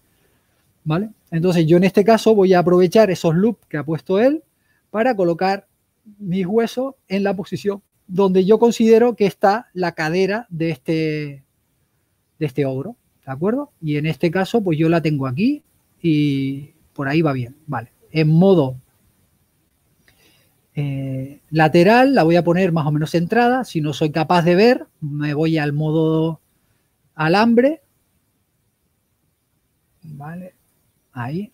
Voy a intentar decirlas todas las palabras en español, pero como estoy acostumbrado a manejarlo en inglés, puede ser que en vez del modo alambre, modo wireframe y cosas de ese tipo. O sea que quien esté acostumbrado a la interfaz en español, que me disculpe. Pero es bastante yo, yo, invito, yo invito, y mira que estoy a favor del español, tú lo sabes, que, mm. siempre digo que estoy harto de que anglosajón, anglosajonicen todas las palabras y demás. Pero eh, invito a que eh, los programas se aprendan desafortunadamente en inglés. ¿Por qué? Porque la gran mayoría de los tutoriales, la gran mayoría de artistas eh, trabajan en, en inglés, incluso españoles con muchísimo talento y los tutoriales los hacen en inglés y los programas los trabajan en inglés, con lo cual eh, no recomiendo que Blender, por ejemplo, se traduzca al castellano. No sé si estás tú de acuerdo conmigo. Sí, perfectamente. Además, seguir tutoriales es más complicado hacerlo de otra manera, así que, bueno, pero como puede ser que alguien diga, pero bueno, es que está diciendo una palabra que ni siquiera la encuentro en mi interfaz y demás, que tenga en cuenta que en alguna ocasión voy a intentar traducirlas todas al castellano, pero que en alguna ocasión puede ser que se me escape y no me dé cuenta por, por la habitualidad de tener que hacerlo siempre de esa manera. En este caso, como no, en mi modelo no tiene pie, yo no voy a, aquí y borro el pie, porque eso va a alterar toda la estructura de constraint y demás que tiene el, el Blend Rig. Así que lo único que hago es colocar donde supuestamente está el amigo imaginario del pie de este, de este orco, ¿vale? Y simplemente lo pongo ahí. El, luego, aunque mueva el pie, como no hay una malla que tiene que deformar, no se va a mover, pero básicamente lo pongo ahí. Una de las cosas importantes que hay que tener en cuenta con el blend rig es que el pie se coloca este punto justo donde comienza el talón de nuestro zapato, de nuestro pie o lo que sea. En este caso, yo lo voy a colocar aquí, pero es indiferente.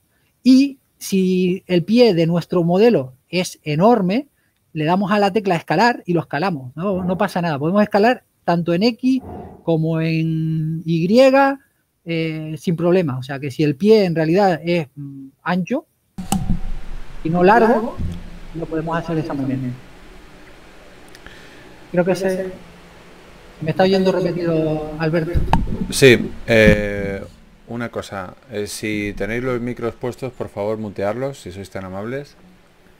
Por otro lado, comenta que ya le ha dado nuestro Compañero Ángel, ¿qué tal? Muy buenas, maestro. Eh, le está pasando enlaces porque preguntaba Ramón Miranda ejemplos de animación para los resultados finales de las dos variantes. Algunos de cortos. Bueno, yo te recomendaría que te suscribieras a la Blender Cloud y allí tienen muchísimos ejemplos de todos los cortos y animaciones que han hecho y que han utilizado BlendRig eh, y Rigify no lo sé, porque tampoco de, en detalle. BlendRig desde luego que sí.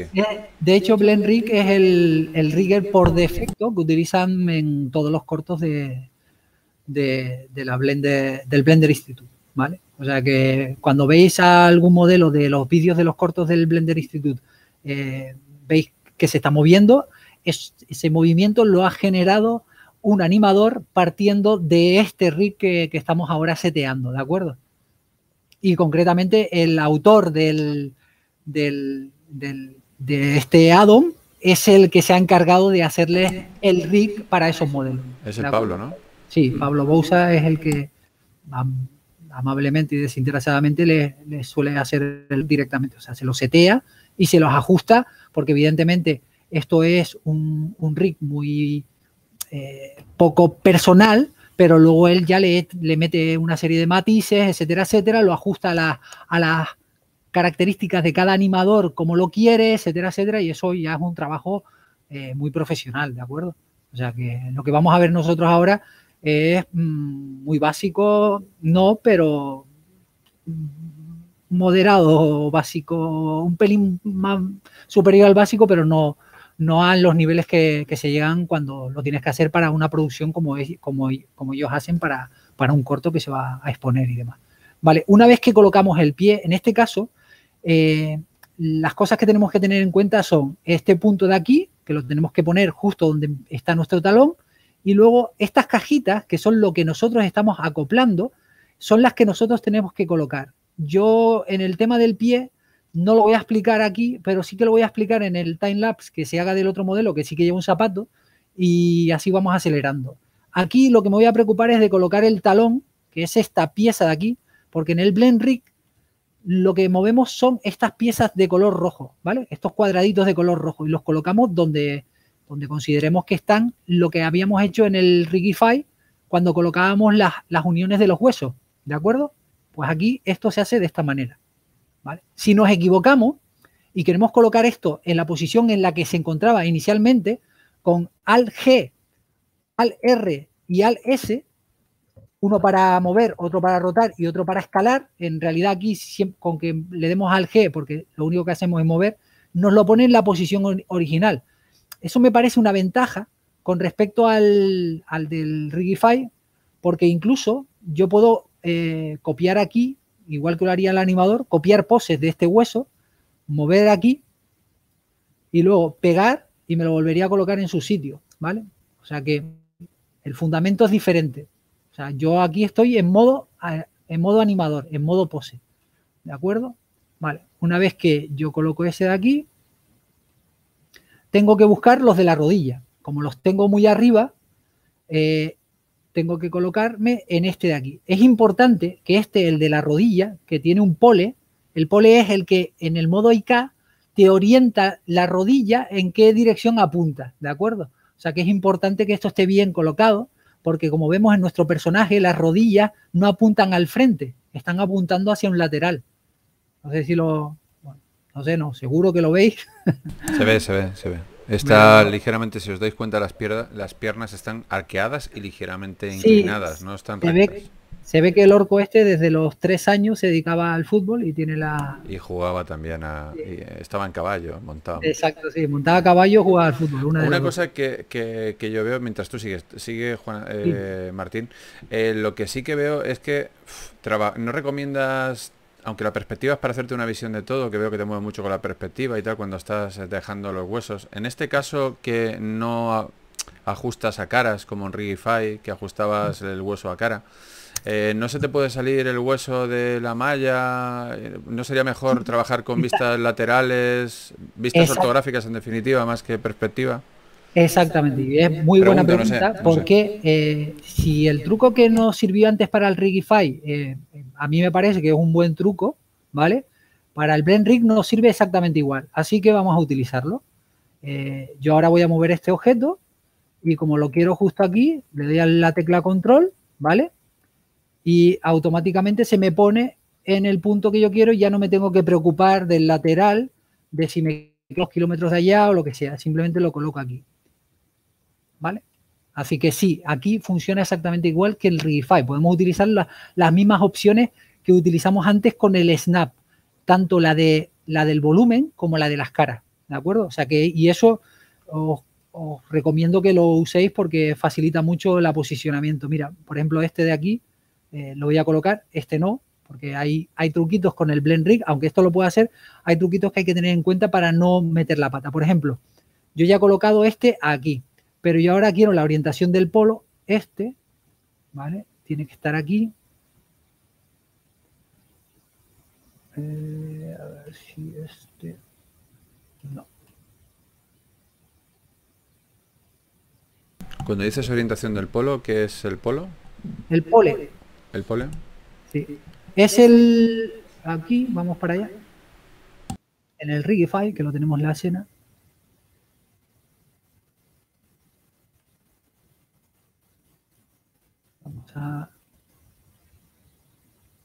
Tenemos aquí todo encendido. Parece un árbol de Navidad.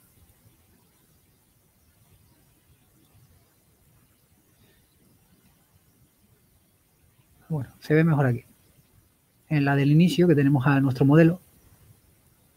Aquí. Este es el pole. Si yo muevo el pie, ahora estoy en modo IK, ¿lo ves? Se, rota la articulación y demás y yo solo estoy moviendo. Pero ves que la rodilla está apuntando a donde le da la gana. Entonces yo tengo que hacer la corrección de la rodilla con este... ¿Ves que la rodilla apunta hacia, yo, hacia donde yo estoy apuntando este control que está aquí? Eso es como la cuerda de la marioneta, lo que estabas explicando al principio, por lo que Exacto. ¿Vale? En este caso, eh, yo ahora estoy poniendo esto donde se supone que tiene que estar orientado el, objeto. Pero como está vinculado uno al otro, evidentemente, cuando yo estoy moviendo este, él va a estar moviendo la rodilla. Ahí, ¿lo ves? Pero luego yo lo que tengo que hacer es poner la rodilla en su sitio. Ahora, más o menos, yo tengo este, tengo que ponerlo más o menos aquí. Y este ahora está ahí. ¿De acuerdo? Ahora, ¿lo ves? Ahora ya, digamos que si nos ponemos en lo que apuntaría a su rodilla, vamos a poner en modo alambre, estaríamos aquí, ¿no? ¿Ves la Ramón. La perpendicular, ¿no lo, veis, no? Para eso es importante, porque si no, en cuanto yo me vaya aquí, mm, al G, al R, al S, perdón, todo los controles al G, al R, al S. Cuando yo esté en la posición inicial, yo tendré mi rodilla mirando para acá y mis controles de mi rodilla mirando hacia el frente. Y lo que nos interesa es que nuestros controles estén orientados y puestos como el modelo que nosotros queremos mover, porque si no le complicamos la vida al animador, que tiene que saber que el pole está mirando a un sitio, pero en realidad no tiene que mirar ahí, sino que tiene que mirar 7, 8, 7, 14, 15 grados más hacia la derecha o más a la izquierda, etcétera, etcétera. Así que eso es básico para facilitarle el trabajo al, animador. ¿Se puede hacer sin tener que mover el pole y lo dejamos como estaba antes? Claro, se puede hacer, pero... pero el animador de todas formas en una empresa grande te llamaría y le diría, oye, corrígeme esto, que yo no le voy a meter ni un segundo más de... Claro, me has puesto, me has puesto el pole eh, mirando a la orientación equivocada. Yo necesito que me mire la rodilla donde tengo mi, pose inicial, o sea, la pose por defecto. Y a partir de ahí yo lo oriento y lo poso como a mí me da la gana. Bueno, el siguiente paso, una vez que hayamos orientado la rodilla, Bueno, perdón, en la rodilla hay un, punto muy importante que hay que tener en cuenta. El control de la rodilla hay que ponerlo, ¿veis la caja roja? ¿Vale? Eh, en modo alambre eh, se ve bien, no, vamos a verlo en modo... Y le voy a quitar momentáneamente el X-Ray. Eh, Veis que la caja sale ligeramente de la rodilla, ¿vale? Aquí. Y esto es importante porque la unión del, hueso, donde va a rotar, nunca tiene que quedar, si vamos a mover el objeto en IK, en IK recuerda que es que movemos una, la, base del pie o la base de la, o la palma de la mano y él va a rotar. Él necesita rotación. O sea, cuando vayamos a poner nuestro modelo, aunque nuestro modelo tenga la pierna de palo, o sea, tenga un palo como pierna, si, queremos utilizar correctamente el modo el modo IK tiene que tener la curvatura hacia donde queremos que cuando rote se doble en esa dirección, porque si no, eh, lo que va a hacer es que si lo ponemos completamente recto, cuando movamos este, este control, no va a saber en qué dirección rotar y puede empezar a rotar en direcciones que no tienen nada que ver con, nuestro modelo. Eh, voy a ponerlo aquí un momento donde estaba antes, que nos sirve de ejemplo. Por ejemplo, este aquí. Si yo ahora cojo y le doy aquí, ¿vale? Yo solo estoy subiendo el objeto, ¿ves? Estoy con el control hacia arriba, pero él sabe que tiene que rotar en la dirección hacia la izquierda. Porque si yo lo pongo completamente recto, él puede ser que cuando yo suba, en vez de rotar directamente hacia la izquierda, me rote directamente hacia la derecha. Y eso es lo que no quiero. ¿De acuerdo? Así que es importante que cuando colocamos los controles de nuestro modelo en el, y vayamos a usar el modo IK, y, probablemente lo vayamos a usar, eh, tengamos que darle una cierta curvatura. Eso funciona igual para los codos, para los huesos de la mano, porque los huesos en Blend Rig eh, tienen IK también. O sea, podemos mover la punta de un dedo y se comporta igual que si estuviéramos moviendo una pierna o una mano. Esa, eso no lo tiene el Rigify, esa opción, ¿de acuerdo? Pero siempre que seteemos eh, los controles de, de única, recordar que es importante de dejarle la curvatura, o sea, colocarlo de tal forma que le orientemos en qué, en qué dirección se tiene que rotar, ¿de acuerdo? Bueno, el siguiente vamos, control. Vamos a meterle caña a esto que, y además me consta, me consta que falta porque todavía te vas a tener que meter con Skull y tal, corrígeme si me equivoco. Eh, Solimán quería comentar algo, un inciso por micro. Solimán. Eh, sí, no solo quería preguntar si en este paso la armatura se puede modificar en modo de edición. No, el, todo lo que estés haciendo aquí lo tienes que hacer en el modo posado. Aquí no puedes tocar nada en el modo edición porque estaría, eh, digamos que eh, en el momento en el que tú le das y terminas de colocar todos los, controles, eh, los huesos, digamos, y le tienes que dar, el siguiente paso sería darle a un bake armature, que es donde él, digamos que coloca los huesos en la posición en la que se van a quedar de forma definitiva. Si tú has movido eh, en modo edición los huesos, el, el script no va a saber localizarlos o los va a poner donde le da la gana. O sea, eh, digamos que el resultado va a ser completamente inesperado. Entonces, en este caso es como cuando dije en el modo del Rigify, eh, esto no lo podéis tocar, no podéis añadirle huesos, no podéis hacerle nada, no podéis moverlo del punto 000, porque hasta que le deis al botón del generate, el, el problema es que todo ese proceso lo hace un script, un, código de Python que, necesita que las cosas estén donde deben de estar. Si lo movemos, el resultado puede ser que sea eh, malo o, muy, o, no, dependerá de lo que toquemos. Imprevisible. Hmm. Exacto, sí. Entonces, en ese caso, aquí estamos como aquí lo que estamos, el equivalente a lo que hice antes sería cuando estamos en modo edición de los huesos en el Rigify, ¿vale? Cuando, cuando estábamos en, este modo aquí, en este modo. En modo edición, cuando yo estaba haciendo esto, colocando los huesos, esto es lo mismo, ahora estamos en el mismo proceso, pero en BlendRig. Aunque parezca que estemos ya con el modelo que lo podemos mover, etcétera, etcétera. No, aquí lo único que podemos hacer, cuando estemos en el modo repro, reproportion, ¿vale? Pero yo lo he renombrado para no tener que decir la palabreja, ahí siempre solamente nos dedicamos a esto, a colocar los huesos donde van. Eh, sigo con esto aquí Y como podéis ver, no me dedico a colocar el lado izquierdo, eh, perdón, el lado derecho, ¿vale? Del personaje, porque en este caso yo solo tengo que preocuparme de colocar el modelo en, un, en, una, en una sola posición. Luego ya hay una técnica, porque como aquí no tenemos el auto IK, el, esto no funciona, no funciona correctamente. Y en el modo de los huesos no tenemos el mirror, eh, por lo tanto no podemos hacerlo así. En este caso solo seteamos un, un, apartado, ¿de acuerdo? Luego simplemente aquí, a ver si soy capaz de verlo, este control de aquí es el que controla el tema este de la ingle, ¿vale? Aquí hay como una especie de cruceta que si la movemos hacia arriba, no sé si se ve bien porque el, este de aquí... Se va a ver bien, se va a ver bien, aunque se hace gris clarito, que me imagino que por eso lo dirás, eh, se ve, ¿vale?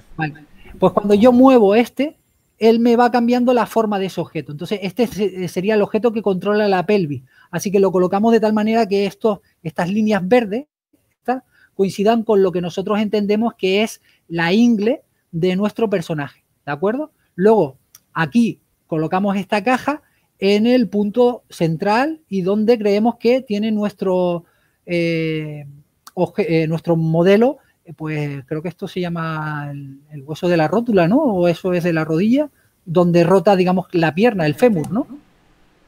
Sí. que alguien me corrija porque Estás ya cerca de las caderas. Exacto. Vale. Una vez que colocamos eso, lo siguiente es colocar estos de aquí como este punto de aquí, dijimos que era el, pivote, el, digamos que el, punto de, Uy, no me sale la palabra. El, punto central, ¿no? Sino donde el peso, donde se guarda el peso del, personaje, digamos. Eh, pues estos controles de aquí, de la espina, eh, los tendremos que subir para arriba, no los pongamos por debajo porque aunque nuestro personaje tiene un culo bastante gordo, etcétera, etcétera, pues todo esto viene a partir de arriba. Entonces yo empiezo a mover este por aquí, estos son los controles de la de donde sería la barriga, el pecho y este sería pues el principio del esternón, ¿de acuerdo? Pero como si seguimos moviendo este no nos mueve lo de arriba, lo que tenemos que hacer es mover el cuello, ¿vale? Esto ya eh, lo iréis viendo a medida que lo mováis vosotros, porque os daréis cuenta de que hay controles que mueven todo lo demás. ¿Veis? Estoy moviendo el cuello, el control del cuello, pero me sube los hombros, en la cabeza, la cara, etcétera, etcétera. Entonces, una vez que yo coloque el cuello donde más o menos lo quiero, en este caso vamos a ponerlo aquí para mantenerlo de los hombros, la cara voy a poner por aquí y luego ajusto lo que sería más o menos el cuello de este señor, que más que un cuello parece que tiene un brazo en el cuello Martín, con tu permiso refresco. Eh, si puedes parar, así puedo verlo todo bien, ¿vale? Era grabación. A ver si me deja. Vale. Dale F5. Sí, sí, sí, le da F5, pero no. Pues yo te espero, no te preocupes. Nada, tardo medio segundo.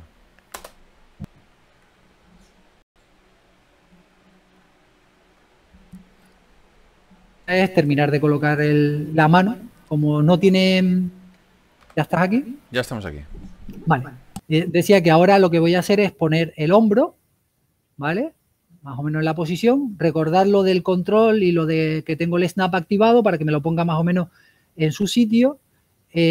ahora volvemos a lo de antes. En este caso, como el codo lo tiene en una orientación que yo considero que es correcta, pues simplemente eh, coloco este ahí y no, no muevo el pole. Pero si tuviéramos un personaje que el, digamos que el, pole lo tiene en una posición eh, recta con respecto al codo, lo que moveríamos sería el, pole. Ves que cuando muevo el pole se mueve el punto del codo, ¿vale? Entonces, sería un poco perder el tiempo que yo me dedicara a colocar el pole y después me diera cuenta de que, de que he perdido el tiempo porque lo tengo que reajustar. Los compañeros cuando estabas buscando el centro de... que lo está diciendo Carlos por aquí, eh, CBAS. Eh, centro de gravedad, decía Ángel Aguado. Exacto, gracias. Ángel Agudo, perdón. Ángel, mis, disculpas. centro de gravedad. Centro de gravedad. Y por ahí decían cintura, ombligo, al final sí. Centro de gravedad, ¿no? ¿Querías decir? Exactamente, esa es la palabra que estaba buscando. Centro de masas, me dice, bueno, sí. También, también, El centro de masas de gravedad. Es lo mismo. Vale.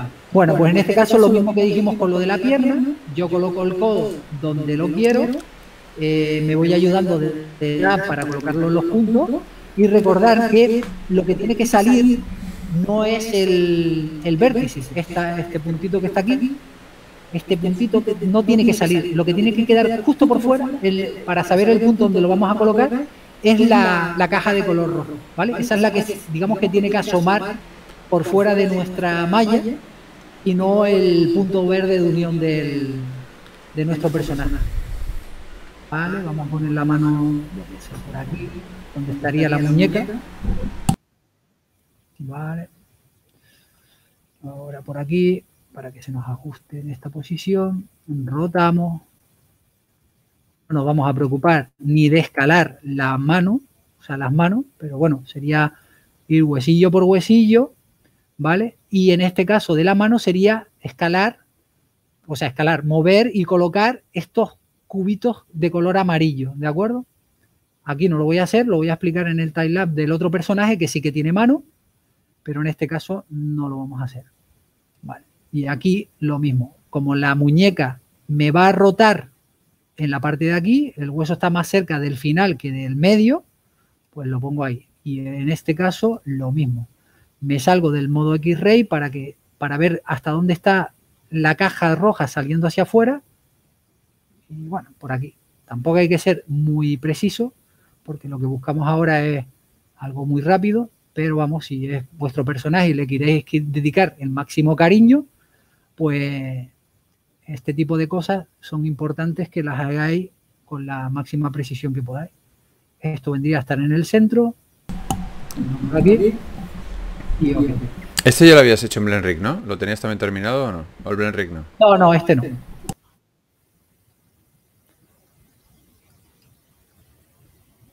Este no, tenía, eh, por eso cuando me dijiste, ¿lo tienes todo preparado? Eh, no, faltó esto. bueno, ya lo tenías estudiado.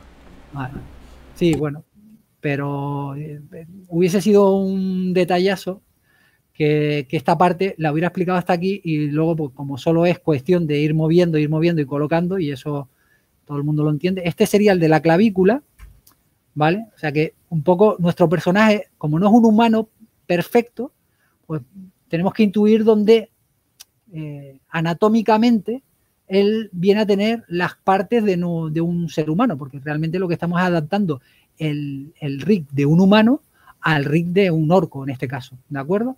Vale, eh, más o menos ya tenemos la cabeza, los hombros, el hombro de este hombre quedaría un poco raro aquí, tal vez sería cuestión de ir subiendo, a ver, porque no, veis que no se movió nuestro, mi control, porque no se mueven si yo no eh, localizo el cubito, ¿de acuerdo? Este va a tener la clavícula eh, allá arriba y el siguiente paso, en este caso no tiene rig facial, pero vamos a recolocar la cara, más o menos, ¿cómo se haría? Este control de aquí posiciona la cara donde nosotros la, queramos. Entonces, los ojos de mi personaje vienen vinculados por estos huesos que tienen color azul. Así que yo lo que voy a hacer es escalar para que tenga más o menos el tamaño de la cara de mi personaje y escalar en X aquí, escalar en X. ¿No quiere?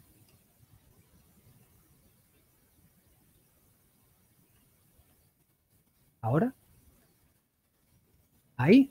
Y digamos que yo lo que haría es darle el tamaño aproximadamente de lo que son mis, los ojos de mi personaje aquí, ¿vale? Y luego ya se haría la colocación de cada uno de estos huesos para adaptarlo. Eso también lo haré en el otro personaje, en el timelapse, y lo explicaré eh, por encima, pero ya moviéndose más rápido y demás para que no perdamos mucho tiempo.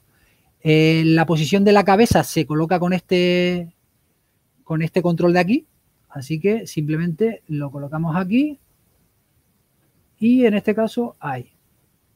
Buscamos la, donde va a estar la cabeza de nuestro personaje, luego el cuello y demás. Vale.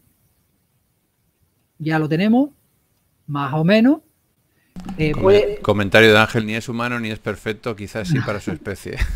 puede ser, sí. El pobrecito va a estar diciendo, joder, si yo, si además soy el guapo de la familia, tío, y me están poniendo como.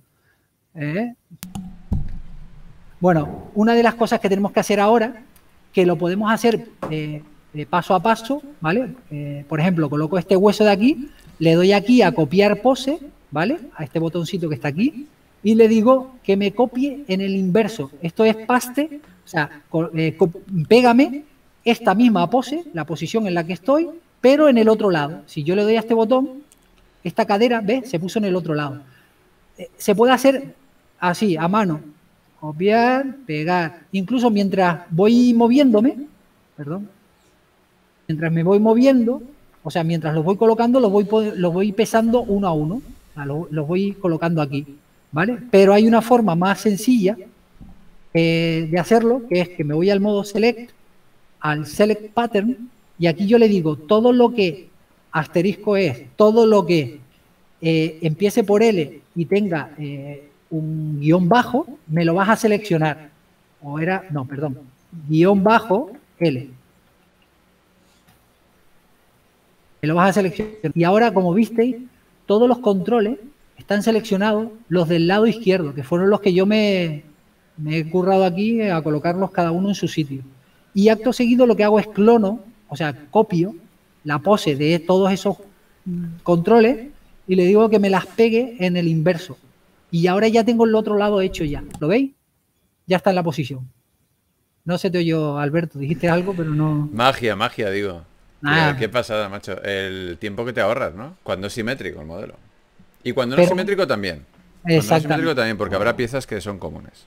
Exacto. Y luego, bueno, aquí podríamos ajustar, si no fuera, si nuestro personaje no fuera simétrico, que no es el caso, aquí podríamos ajustar este, esta, este, esta pierna, por ejemplo, la podríamos mover y colocarla más allá o lo que sea. El caso es que cuando nosotros eh, simplemente eh, seleccionamos y le damos aquí, él nos va a colocar todas las piezas del lateral de la izquierda, porque las hemos seleccionado aquí con el Select Pattern, esto no solo sirve para el select pattern, a lo mejor algunos no lo conoce, eso sirve para seleccionar cosas similares, ¿de acuerdo? Las que, eh, como el nombre dice, seleccionar patrones. Patrones, exacto. exacto. Entonces, el patrón que cumple aquí es que todos esos huesos tienen la característica de que comienzan o, o tienen, eh, contienen la, la palabra guion bajo eh, L. Y, y los del lateral derecho pues tendrían guion bajo R. Martín, Vale. yo sé que tú tienes guardado que, eh, que para explicarle la diferencia sustancial de esa Mm. mejora con respecto al otro, porque la gente está viendo un curro aquí con esto tremendo, ¿eh?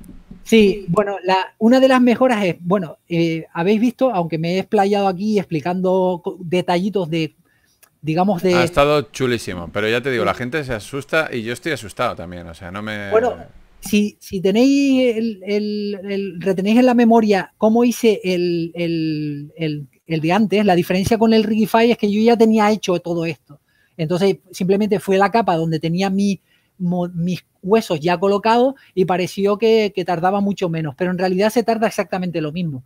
Eh, eh, para el mismo modelo, en este caso como no tengo que poner las manos ni tengo que poner la cara, pues evidentemente hubiera tardado lo mismo. Hasta aquí Rigify y BlendRig eh, se tarda lo mismo, ¿vale? Yo aquí, yo podría hacer una cosa que es lo que hice antes con el Rigify. Yo puedo seleccionar ahora el modelo, me salgo de, una vez que yo haga, haya hecho el, el, el- salga del Reproposition Mode, de hecho lo vamos a hacer ahora, pero aquí en el, en el Blend Rig hay que hacer una cosa antes, que es que nuestro modelo, este, eh, no tiene la forma, ¿vale? De nuestro personaje. ¿Lo veis ahí? Bueno, si lo pongo al solo se va a ver mejor. ¿Vale? Este es el, a nuestro personaje. Si, Ese, si es han- el, ese es el volumen que por defecto que por defecto viene, corrígeme si me equivoco, con, este es el que ya está pesado. Sí. Este es el que ya está pesado. Sí, si os acordáis de este, del, del principio,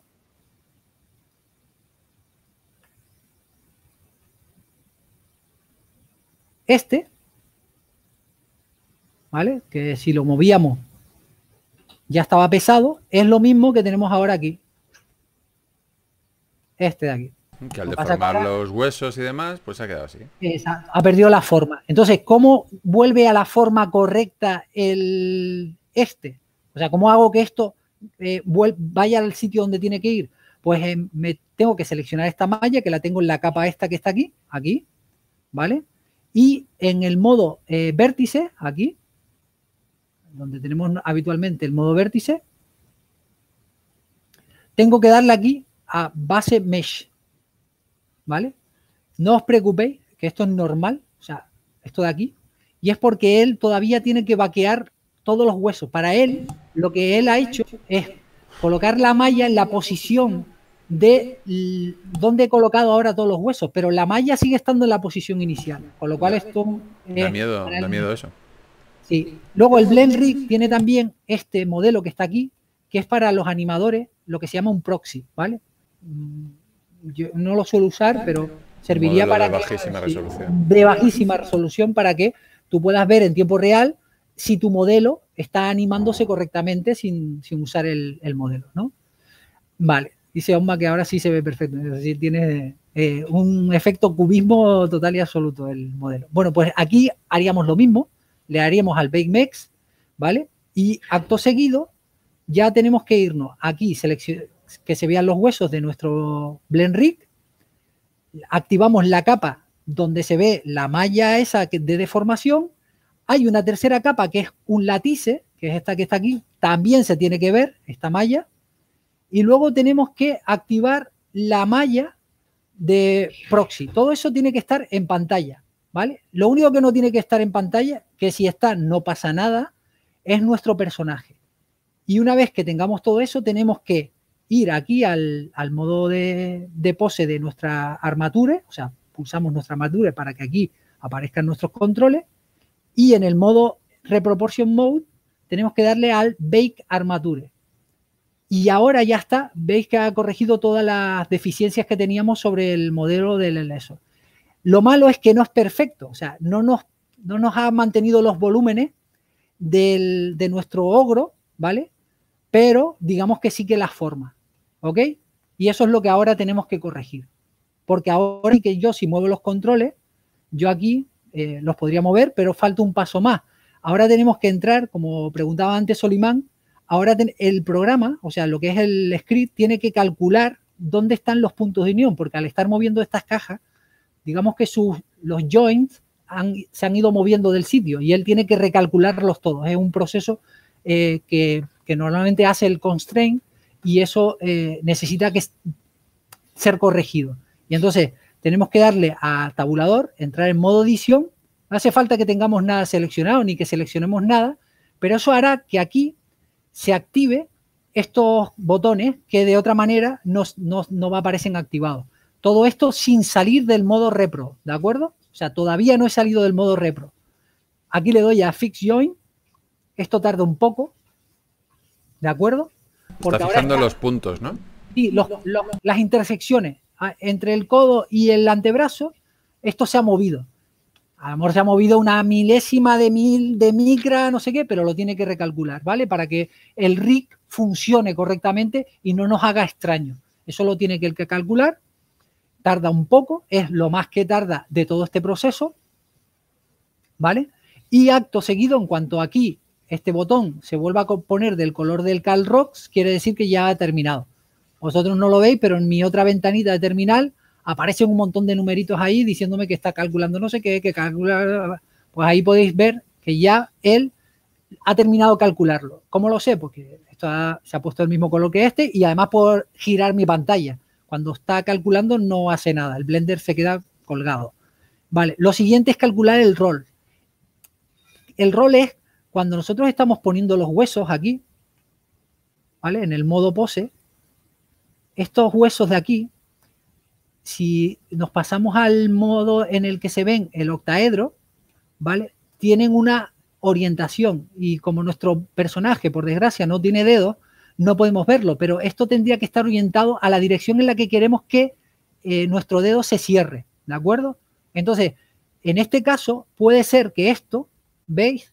Si yo quiero que rotara en esta dirección, esto está ligeramente orientado mal. Entonces, yo lo que haría sería aquí eh, coger esto y hacerle un rol, ¿vale? Rotar esto para que se pusiera en una posición correcta. Una vez que tengo eso, lo que tengo que hacer es dar al, ¿cómo se llama? Al, al, personaje, eh, oriéntame el resto, como se suele hacer, con control N y demás, no me voy a extender aquí, y, una, y, es, y para eso sirve precisamente, voy a pasar aquí al modo edición.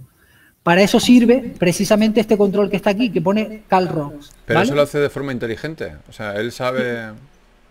Sí, pero con los, por, por, por mm, experiencia os digo que con los huesos de la mano vais a tener que hacer un custom align, este que está aquí, ¿vale?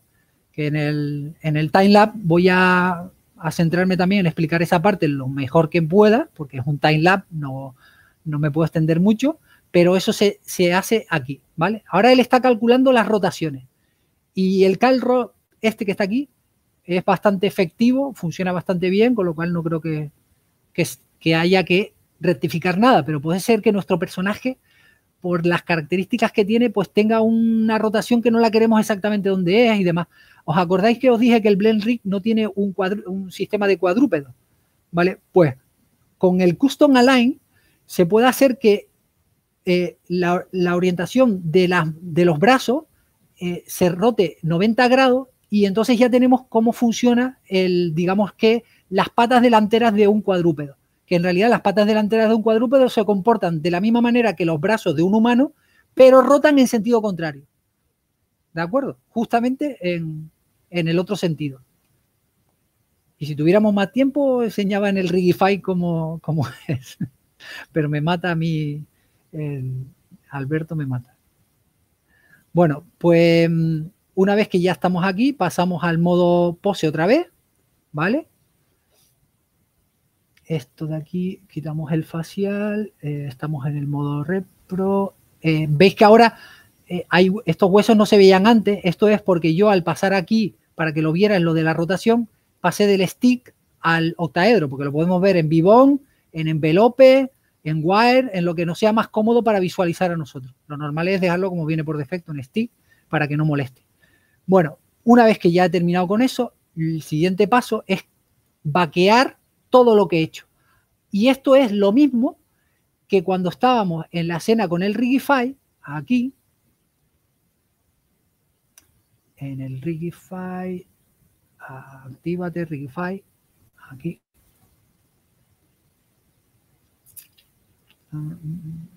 inicio, aquí.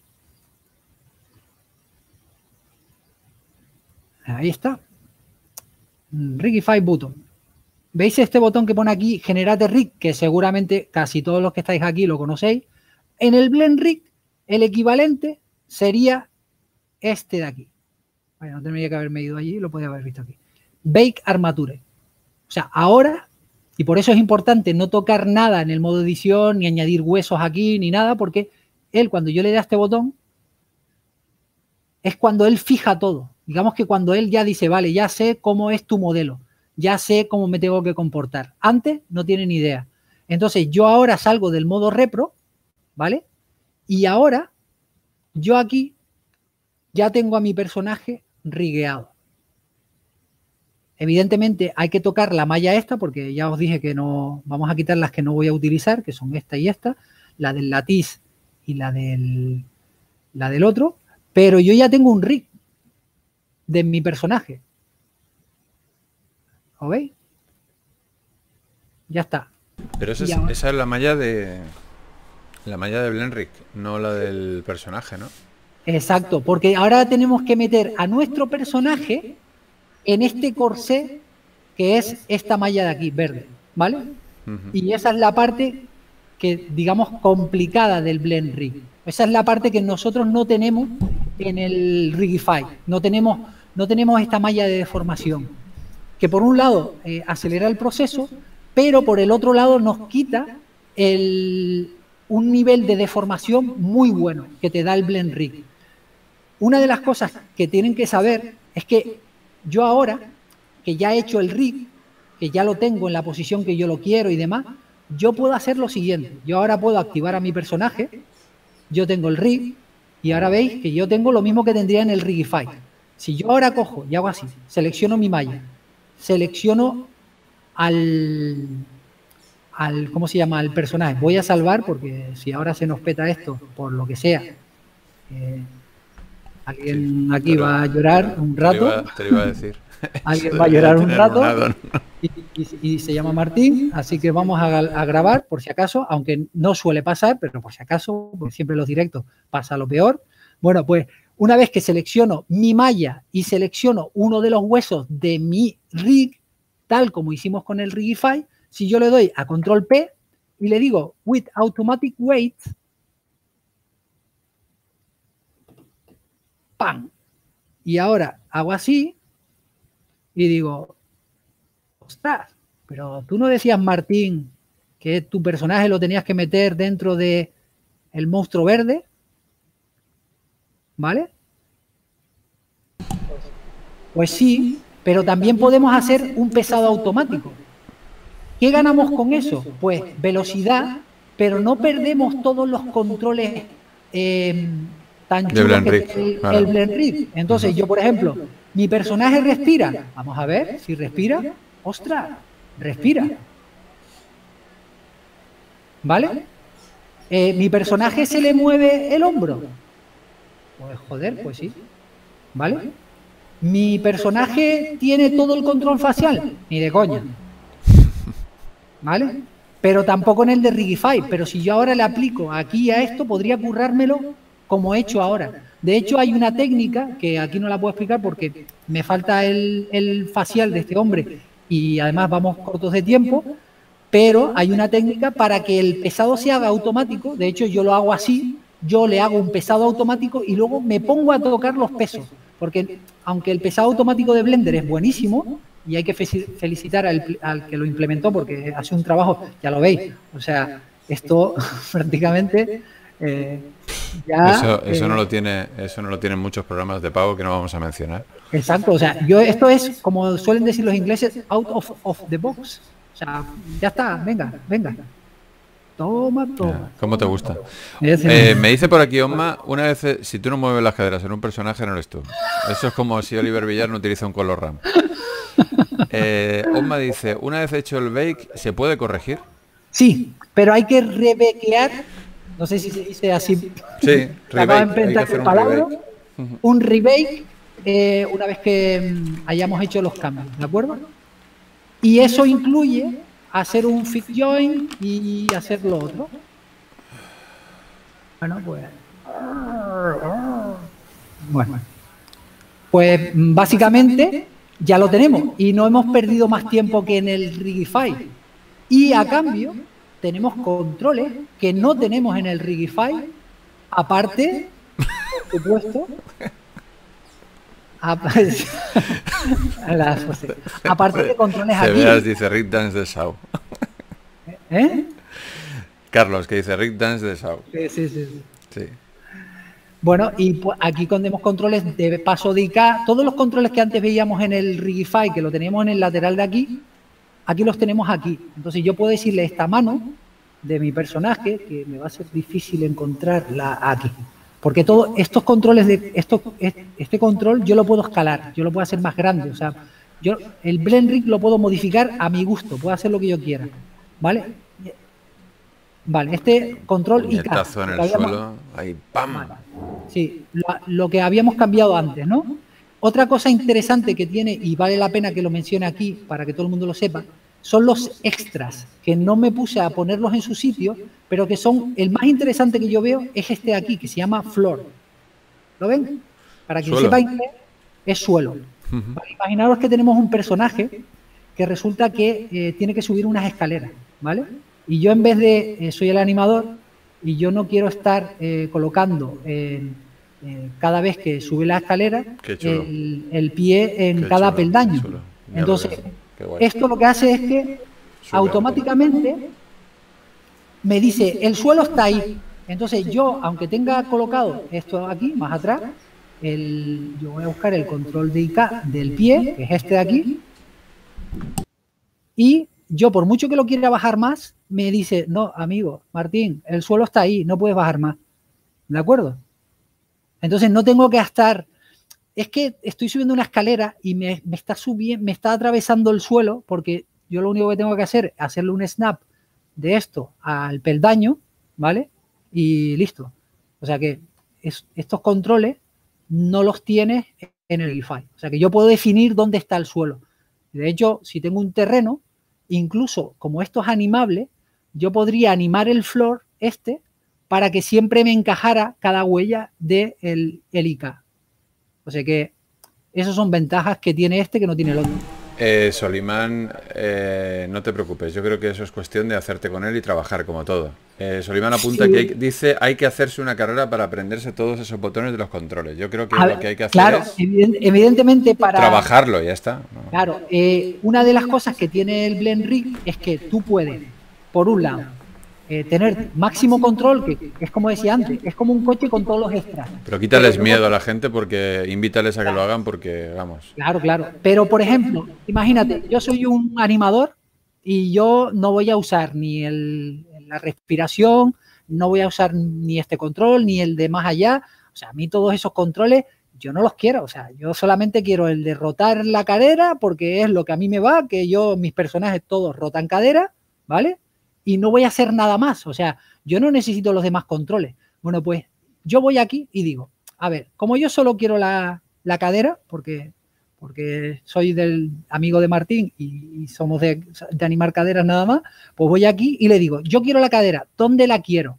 Bueno, pues yo me voy aquí al modo edición, ¿vale? Tengo la cadera seleccionada y yo le digo, quiero que me trasladen la cadera a la capa, bueno, como aquí la cadera, la capa 13 está vacía, no tiene nadie, pues le digo M, mover, y este sería la 9, la 10, la 11, la 12 y la 13. Ahí está. Vale, ahora ya salgo del modo edición, me voy al modo pose, ¿vale? Y mi cadera ha desaparecido. Yo ya no tengo la cadera, ¿vale? Pero si yo voy aquí y voy al 13 y desactivo el body, ahora mismo tengo un personaje hecho para mí, que solo tiene cadera. No hay manera de poner otro control, ¿vale? Y si además yo digo, sí, pero claro, yo tengo que acordarme de que la cadera está en el número 13. No, voy aquí, me voy aquí. y le pones el nombre, el nombre y ya está. a ver si lo encuentro rápido. El facial, tal, el 13. ¿Veis el 13 ahí? Pues y lo cambio por cadera. Y pongo eh, cadera Martín ya está. Yo ya digo, bueno, voy a animar el resto del objeto. Pero yo ahora mismo estoy en modo modo vacilón. Bueno, pues yo voy aquí y voy a quitar el verde porque está un poco distorsionando la imagen y esto es lo que yo veo solamente. ¿Vale? Yo no tengo más controles aquí que los que yo he puesto. Eso, amigos, no se puede hacer fácilmente en el Rigify. Se puede hacer, pero necesitáis programar en Python o modificar, modificar el archivo UI, o sea, el Rigify UI.py. Y cuando tienes animaciones complejas, tú imagínate lo bonito que es tener todas esas opciones ahí para centrarte única y exclusivamente en... Exacto. Entonces, aunque el, aunque el Blend Rig parece más complejo, porque tiene muchas cosas que configurar, lo puedo configurar para que yo solamente tenga que ver aquí pues mm, las layers que yo quiero. O sea, yo solo tengo que ver las layers de la 1 a la 13. Incluso puedo quitar el body, cambiarle el nombre, mover capas de un lado a otro y ajustarlo a mi medida para que yo solo tenga que ver aquello que a mí me interesa. ¿De acuerdo? Martín, vamos a la parte de escultura, si te parece oportuno para ajustarlo ya y dejamos el personaje. En bueno, voy a poner, hay que poner, por supuesto, al personaje en la pose inicial, eso es fundamental. Y para eso, porque como no sé lo que he estado moviendo... Vas a resetear, ¿no? Un control sí, voy A, sí, voy a seleccionar todos los huesos al G, al G, al R y al S por si me dio por escalar alguno, que veo que sí, ¿de acuerdo? Y luego me voy a centrar en el body y en el 13, o en cadera Martín, que es como... Y el resto lo vamos a apagar. Vale. Bueno, en este caso la cadera no la voy a tocar más para no no se me vaya la olla con la cadera. Otra cosa que también tiene el, el Blend Rig es esto de aquí, el de los ojos. Tiene tres posiciones diferentes. una que siga el torso, otra que siga el body y otra que siga el free, pero por, solo por dejarlo caer. El, este de aquí, que está en... La malla esa parece que se ha ido mucho, ¿no? Sí, esto es porque el, yo he reseteado el modo eh, FK y el modo ICAR, eh, o sea, tengo que tener todas las caras, o sea.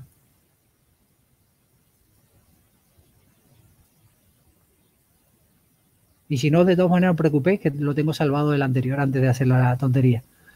Vale, entonces, al G, al ¿no? Al G y creo que ya está nuestro personaje verde. Sí, ya está.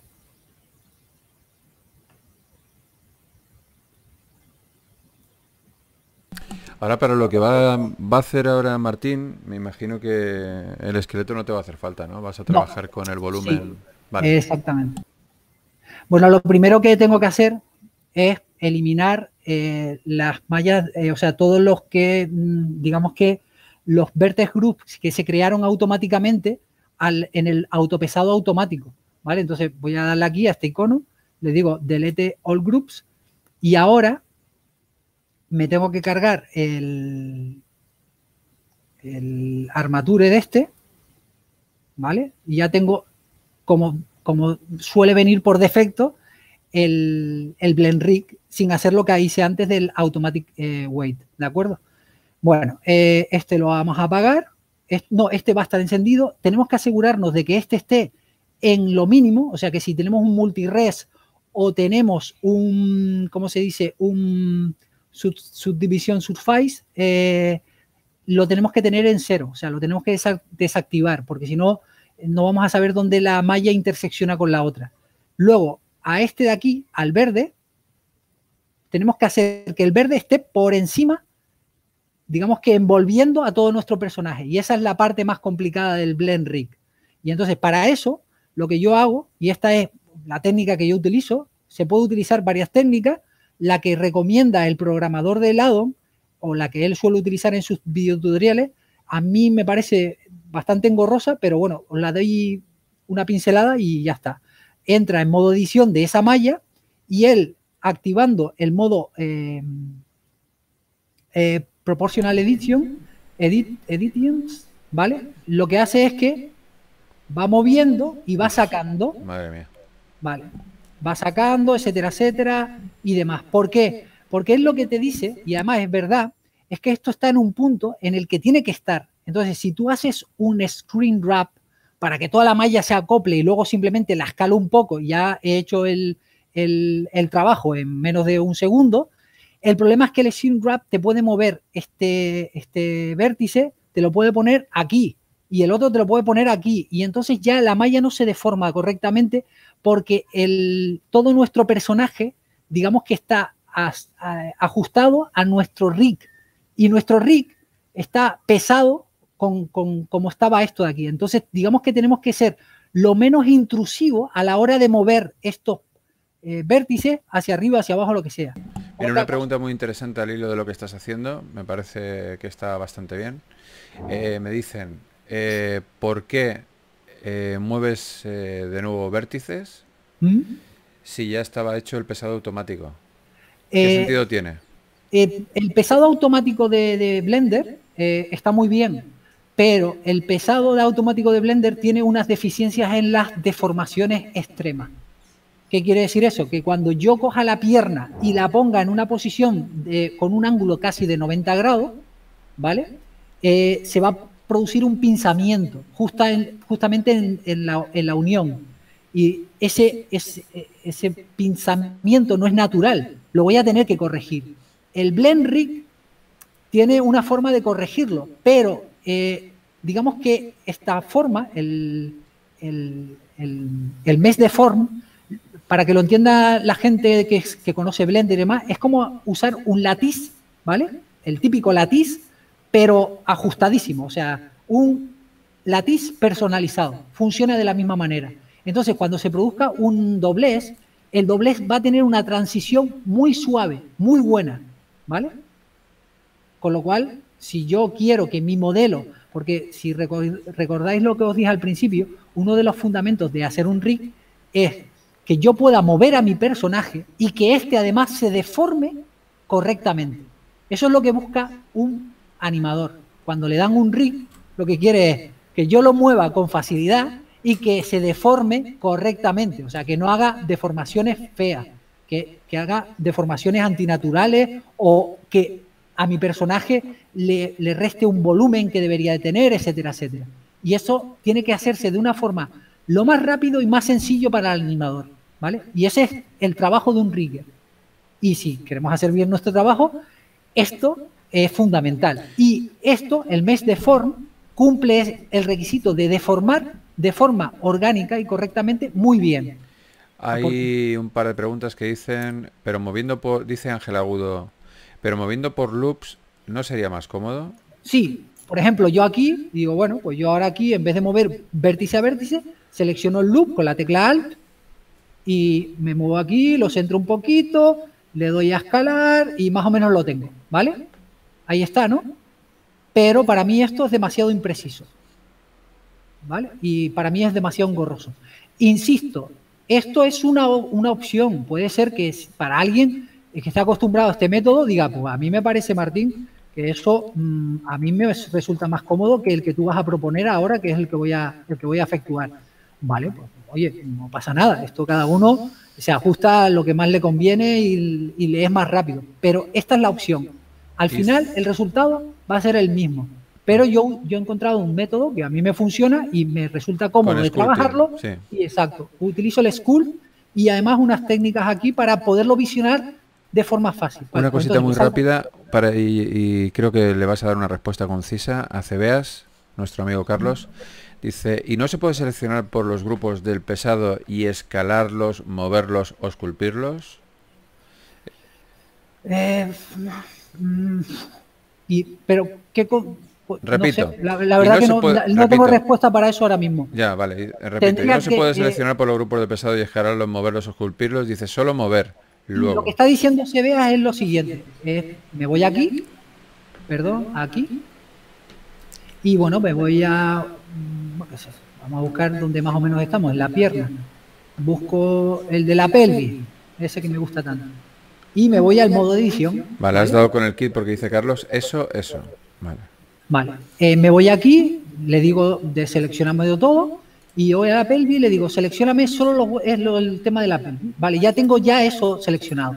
Y ahora lo único que tengo que hacer así es escalar la pelvis. ¿Qué te parece esa propuesta? Mm, me gusta más la mía. O sea, está bien para seleccionar por partes, pero me sigue gustando la mía. ¿Vale? Pero bueno, responde a lo que quería saber Sebea y yo no sé si a lo mejor para Sebea dice, ah, bueno, pues a mí esa era la parte que me disgustaba, pues si se puede hacer de esta manera, pues perfecto, ¿vale? Pues vamos ahora con mi, con mi, con mi opción y bueno, eh, yo, como suelo decir, si alguien encuentra una manera mejor, más eficiente, que por favor me la diga, que yo se lo voy a agradecer, ¿vale? O sea que, vamos, que que siempre estoy abierto a, cambios que me, resulten más cómodos. Bueno, lo primero que hago es paso mi objeto que está en modo wire, el objeto verde, ¿vale? Estoy en el objeto verde. Aunque aparece aquí mi personaje, lo, eh, mi personaje lo necesito como referencia, pero en teoría mi personaje no lo debería de tocar más. Entonces, yo ahora, para no cometer el error de seleccionarlo, moverlo, lo que sea, eh, sin querer, pues simplemente lo localizo, le digo aquí, dime dónde está el este y le digo, mira, no quiero que se mueva. Martín, graba. Dime. Graba, graba. Ah, vale. Te voy a decir, no me diga que tengo que grabar todo esto porque, porque no he grabado desde el principio. O sea, si no te graba lo tuyo, los que lo vean en diferido lo van a No, no, no, no, crucemos los dedos. No, vale, vale, vale. Bueno, pues Primero, ya no puedo cometer el error de seleccionar a mi personaje, eh, por lo tanto, moverlo de sitio, hacer alguna cosa que me pueda afectar después a todo el trabajo que he hecho de colocar el rig, etcétera, etcétera. Bueno, lo tengo eh, bloqueado ahí. Ya tengo aquí la malla verde, que es la malla de formación que la tengo que envolver, o sea, tengo que meter mi personaje, este personaje gordo, en el flaco verde ese. Así que tengo que hacer que el verde engorde, y bastante. Así que me voy aquí al modo objeto, le digo que quiero ver los wire para que yo sepa que en realidad no me estoy pasando de mis aristas están más o menos donde estaban originalmente y que no la estoy mandando al polo norte o para allá o para acá. Y luego paso este al modo solid. ¿Vale? Y ahora tengo una mezcla entre lo que sale por fuera y lo que no sale por fuera. ¿Vale? Yo voy a utilizar este de aquí. Mm, no, este de aquí. Porque a mí me permite después ver la malla, eh, se ve mejor la que se sale de fuera una de la otra. ¿Vale? esta de aquí y demás. Recordar siempre que la malla mía de mi modelo, la de mi modelo, no la del envoltorio verde, tiene que estar en la mínima resolución, o sea, en low poly total, o sea, en lo mínimo que lo tengamos nuestro modelo, así tiene que estar. No puede estar subdividido, no puede estar con el multires, etcétera, etcétera. ¿Por qué? Porque eso va a afectar a lo que vamos a hacer ahora.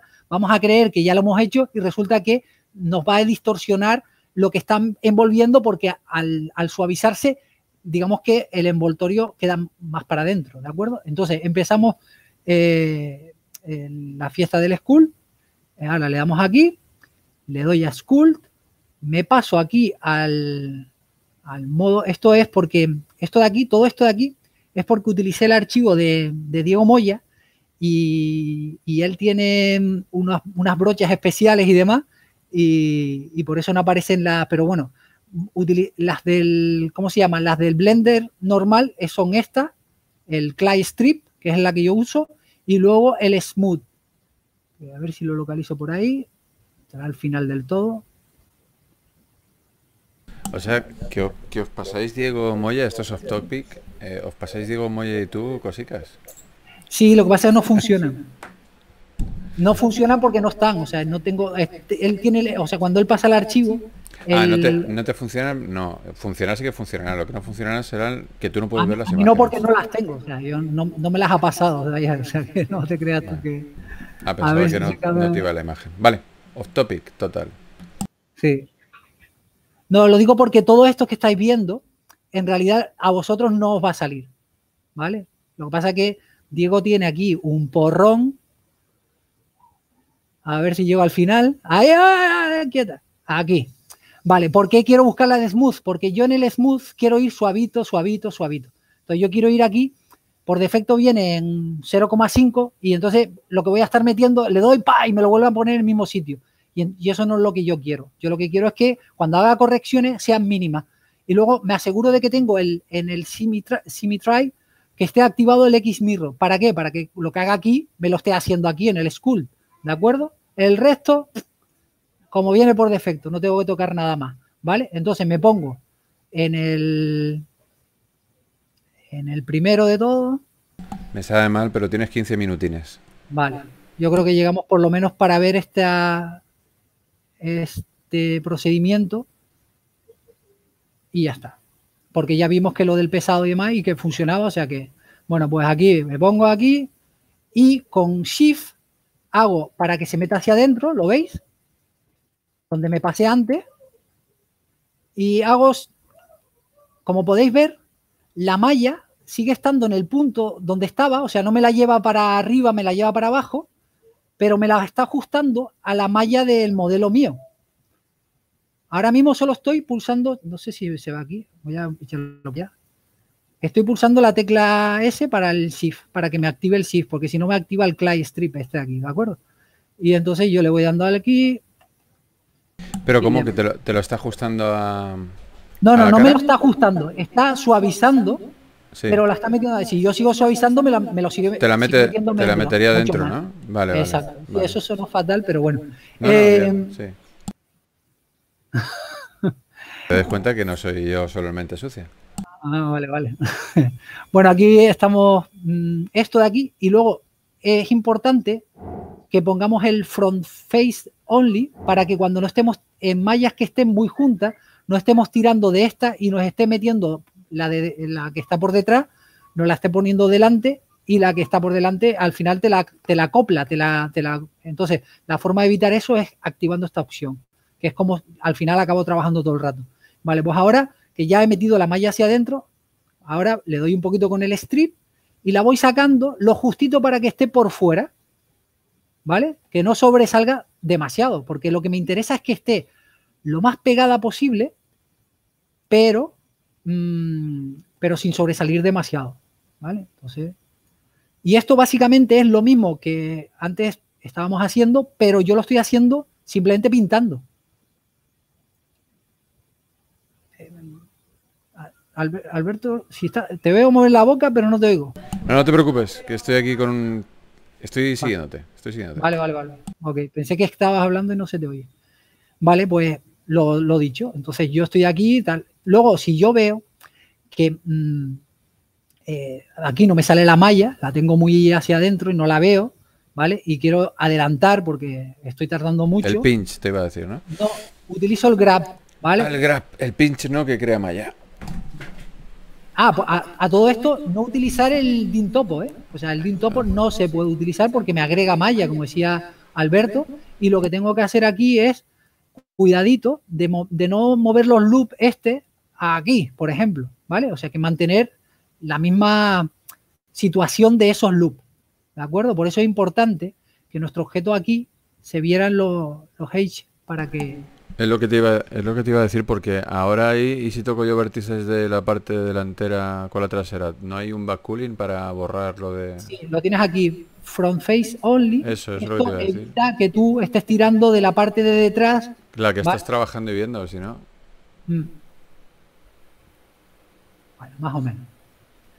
A ver, esto habría que hacerlo, pero como tenemos 15 minutos y quiero no, que tranquilo, más o menos... tú tranquilo, tú tranquilo, no te preocupes. Porque ahora, me, ahora ha entrado alguien y me ha dicho que, no me puedo ir a un sitio, que quería irme. Ah, vale. Bueno. Bueno, pues voy tirando y ajustando, pero como con el grab a mí me resulta un poco más incómodo porque el grab tira. O sea, yo con el grab sí que puedo llevar este vértice un par de metros más allá, pero con el strip, con el strip, el strip lo que hace es una escala en la normal del vértice, con lo cual lo único que hace es sacarlo hacia afuera. ¿De acuerdo? Lo que pasa es que el strip, el, el strip, no tiene mucha fuerza. Entonces, aquí me puedo tirar con el dedo apretado eh, media hora, eh, precisamente porque, porque no, no, me está haciendo el trabajo correctamente. Entonces, digamos que nuestro proceso va a ir más o menos eh, pues entre a caballo entre entre el grab para poder mover una cantidad respetable y luego ir puliendo con el smooth y ir sacando y, ajustando. Este trabajo es tedioso, ¿eh? A mí me relaja. De hecho, el otro día me lo decía, creo que fue Sebus en, el canal de Telegram. Y yo digo, bueno, a mí no sé por qué, pero es casi como esculpir, ¿vale?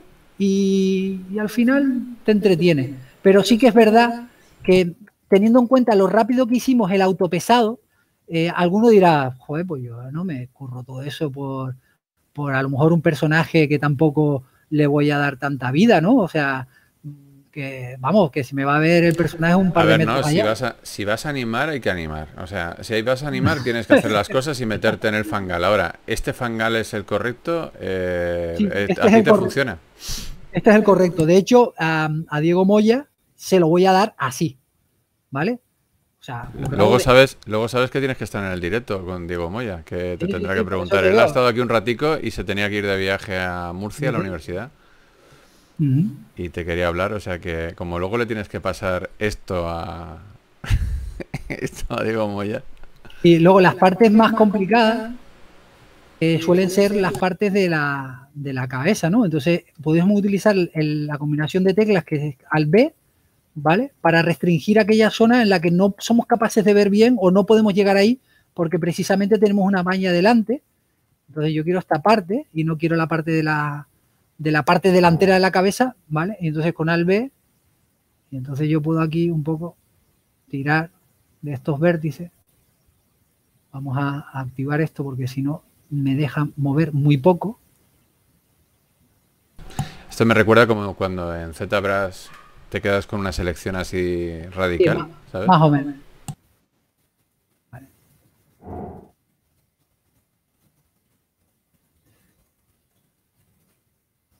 Bueno, ya va cogiendo forma, lo veis ahí, sobre todo en el tema del cuello. Exacto, Carlos. Carlos apunta que al final a cualquier tipo de personaje, por muy simplón que sea, hay que mimarle, echarle tiempo para hacer algo bueno, bonito y mínimamente. Claro, pero. De acuerdo. En, producción siempre tienes que valorar entre el tiempo y, la calidad. Entonces, mm, evidentemente, si este personaje es un personaje secundario, eh, las animaciones que lleva eh, no lleva ninguna deformación extrema que tú digas, eh, es que, macho, es que como no lo deforme bien ahí, se va a notar, pues no te curras esto. O sea, primero pruebas con lo otro. O sea, voy a hacer el automatic weight. Oye, animador, échale un vistazo a esto. Ah, cojonudo, está perfecto. Mándamelo así. Pues hasta luego ya está, o sea, no te vas a complicar la vida. Porque ¿No se te puede ir el pesado de vértices, disculpa, ahora con tanto movimiento de vértice, todo lo que has hecho antes no se te puede ir a tomar por saco o qué? No, no, para nada. Porque yo estoy guardando la posición de los loops, que era lo que apuntaba Ángel Agudo. O sea, yo estoy guardando que el loop este, aunque estoy estirándolo, está en la misma orientación y en la misma posición. No me lo he llevado más abajo ni más arriba en el brazo. ¿De acuerdo? No sé si eso... Sí, sí, responde. ¿Se puede hacer antes un push-pull de la malla para escalarla a mayor tamaño? Dice Solimán. Sí, se puede. Lo que pasa es que, claro, depende del personaje, tú puedes ir... Lo que no puedes hacer, o sea, tú puedes utilizar las técnicas que tú quieras, pero lo que tú no puedes hacer es esos loops que aparecen aquí, o sea, este, este H, eh, que aparezca pues aquí, termine porque a ti te gusta más aquí porque entonces ya sí que estarías deformando de forma incorrecta, porque cuando tú movieras tu personaje, el rig, él estaría moviendo aquí lo que tú estarías poniendo aquí, con lo cual no, sirve de nada, o sea, no, funciona así. O sea. Entonces aquí en la cuestión está, eh, lo que pasa es que con las herramientas de, claro, no las tengo exactamente en el mismo sitio, pero por ejemplo, si me pongo aquí ahora a inflar en el brazo, que está bastante... Em, cueto y demás. Vale. Las partes conflictivas, las axilas, el cuello, las ingles y el resto del cuerpo es bastante sencillo, ¿vale? Veis que aquí, al suavizar, la malla me vuelve a crear el loop. Eso también lo tengo que tener en cuenta, porque acordaros que el personaje en realidad es un personaje. Y yo lo que tengo que hacer es modificar el mío para que se adapte al otro más o menos con la gordura adecuada para que toda la malla esté envuelta. O sea que en realidad es envolver nuestra malla. alguien podría pensar, pero bueno, si solo es cuestión de envolverla, pues tío, eh, no te compliques, coge los vértices, escalado por 10 y ya está dentro, todo metido, no se va a salir nada. Claro, pero ahí pierdes deformación, porque al final lo que te interesa es que esté lo más pegada, pero con todo dentro. Ese es el objetivo que tienes que cumplir. No siempre lo puedes conseguir porque hay, esto es muy baja poligonización y evidentemente te, complica la vida. Entonces yo he encontrado una manera que es, yo con esto aquí, a mí me resulta un poco incómodo porque veis que al final está cogiendo la forma de la espalda, etcétera, etcétera. Yo lo que hago, y es importante que no os olvidéis de quitarlo después, cuando hagáis el mes de form, porque si no el cálculo del mes de form se, se puede ir al infinito, ¿vale? yo le meto aquí a mi malla verde, le meto un, eh, un subsurf, ¿vale? Y le pongo a 2. Le digo optimal display y ahora, digamos que yo ahora esto lo veo más sencillo de ver y de envolver. Sí, pero son los efectos de visualización, ¿no? Sí, esto es, yo lo que he hecho es mi valla verde, que es el envoltorio, al final de, haber ajustado todo esto, tiene que estar sin el surf. Me lo tengo que quitar esto de aquí. No lo puedo dejar así. Pero a mí me resulta más cómodo hacer el modelado, o sea, el, esculpido así, porque veo los loops. O sea, no sé si me entendéis. O sea, yo veo los loops del cuerpo. Es como si estuviera modelado, esculpiendo el personaje, pero con los loops. Entonces yo sé si tengo que mover un poquito más arriba, un poquito más abajo, etcétera, etcétera. Dice Ángel, la maraña es como Venom, pero a lo bestia. Sí, ¿no? Parece, la verdad es que parece el liquidito este de Venom. Y por ahí Cebeas dice, o sea, que esta es una parte crítica y precisa, más que la de ajustar el esqueleto, ¿no?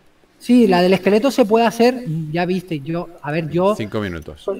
Yo suelo ser muy pesado eh, explicándome, ya lo sabes, por eso mm, siempre me, me- me tienes que controlar tú para que se me vaya la olla, porque siempre te acuerdas de esas cosas que tú dices, "Ah, esto es importante para mí, seguro que es importante para ellos. En realidad todo esto acabas descubriéndolo por ti mismo, ¿no? Y a lo mejor para un directo dice, pues mira, esto me lo ahorro. Pero bueno, ahí están los cracks como Oliver Villar, como, como Diego Moya, que sí ya saben, por la experiencia que ellos tienen, aquellas cosas que no vale la pena estar explicando porque, porque son eh, trucos para gente que ya lo sabe manejar, etcétera, etcétera. Y de lo que se trata es mm, de que el que el que, lo, el que no lo ha visto antes y que, y que mm, ¿cómo se dice? Eh, quiere saber más o menos cómo va, lo único que hace es aburrirlo, porque dice, joder, No, que va, en rollo". absoluto. Estás ahora en una parte bastante conflictiva, eh, lo Mm. que es eh, la barbilla con el cuello, ¿no? Sí, estas son las partes críticas que ¿Vas a hacer más pequeñito el circulito ese o trabajas en, ¿qué es trabajas en relativo o cómo estás? No, no, vas, vas cogiendo la brocha y la haces más pequeña para no tocar zonas que tal. Incluso podría utilizar máscaras. Sea, Eh, todas, las a- herramientas, todas las herramientas del, del school las puedes utilizar. O sea, no, Sí. no hay ninguna ninguna limitación, salvo, salvo el DIN topo. No podemos Sí, sí, meter el Dinto, DIN bueno. topo. Te iba a decir de trabajar con el, la- para que no tuvieras que cambiar de brocha en relativo y a medida que te acercas, como veo que te acercas y demás, aumentas el detalle y utilizas el mismo circulito de... Sí, puede ser. Ya te digo, al final hay fórmulas y técnicas. Y además, esto que yo estoy haciendo con este personaje, a lo mejor me resulta un poco más complejo por la forma que tiene, etcétera, etcétera. Y con otro personaje que no tiene este cuello tan de complicado, etcétera, etcétera, pues terminas antes. Pero Claro. al final acabas terminando. Que este cuello, este cuello se te puede juntar fácil con el pecho. Exacto. Incluso eh, a lo mejor resulta que aquí me es más cómodo entrar en modo edición y tirar de un vértice aquí, sacar este vértice, en vez de andar, ¿ves? Porque a lo mejor yo digo, es que esto no, no, no, no soy capaz de sacarlos del cuello y ahora necesito llevarlos de la cabeza. Entonces me pongo aquí, como hicimos antes, con Alt, Alt B, ¿vale? Y ahora puedo seleccionar, a lo mejor, si no me lo he comido, Creo que te lo has comido. No, puede ser que no. Sí, me lo comí. Te lo has comido. Pero bueno, tengo aquí los del lateral y con el proporcional creo que puedo sacarlo. ¿Vale? Y ahora al B, lo tengo seleccionado, lo voy a sacar hacia abajo. Mm. No, tenías razón, no lo tengo. Te lo has comido. Mm. Bueno, aquí a ver si saco alguno de Ahí lo los- que pasa es que ya llega un momento en que la maraña, y no son muchos vértices, se pierde entre la verde y la. Ah, que tenía todo el cuello ahí arriba, ¿lo veis? Vale, o sea, estaba allí a, a tomar por saco.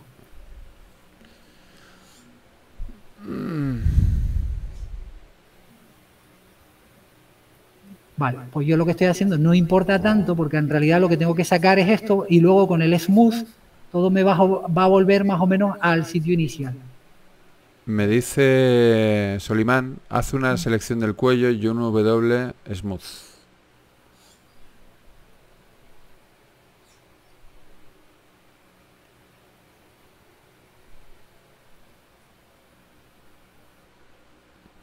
Solimán, si quieres intervenir, eh, que tiene el micro. Oh, si tienes micro y, Y- sí, tiene micro porque ha hablado antes.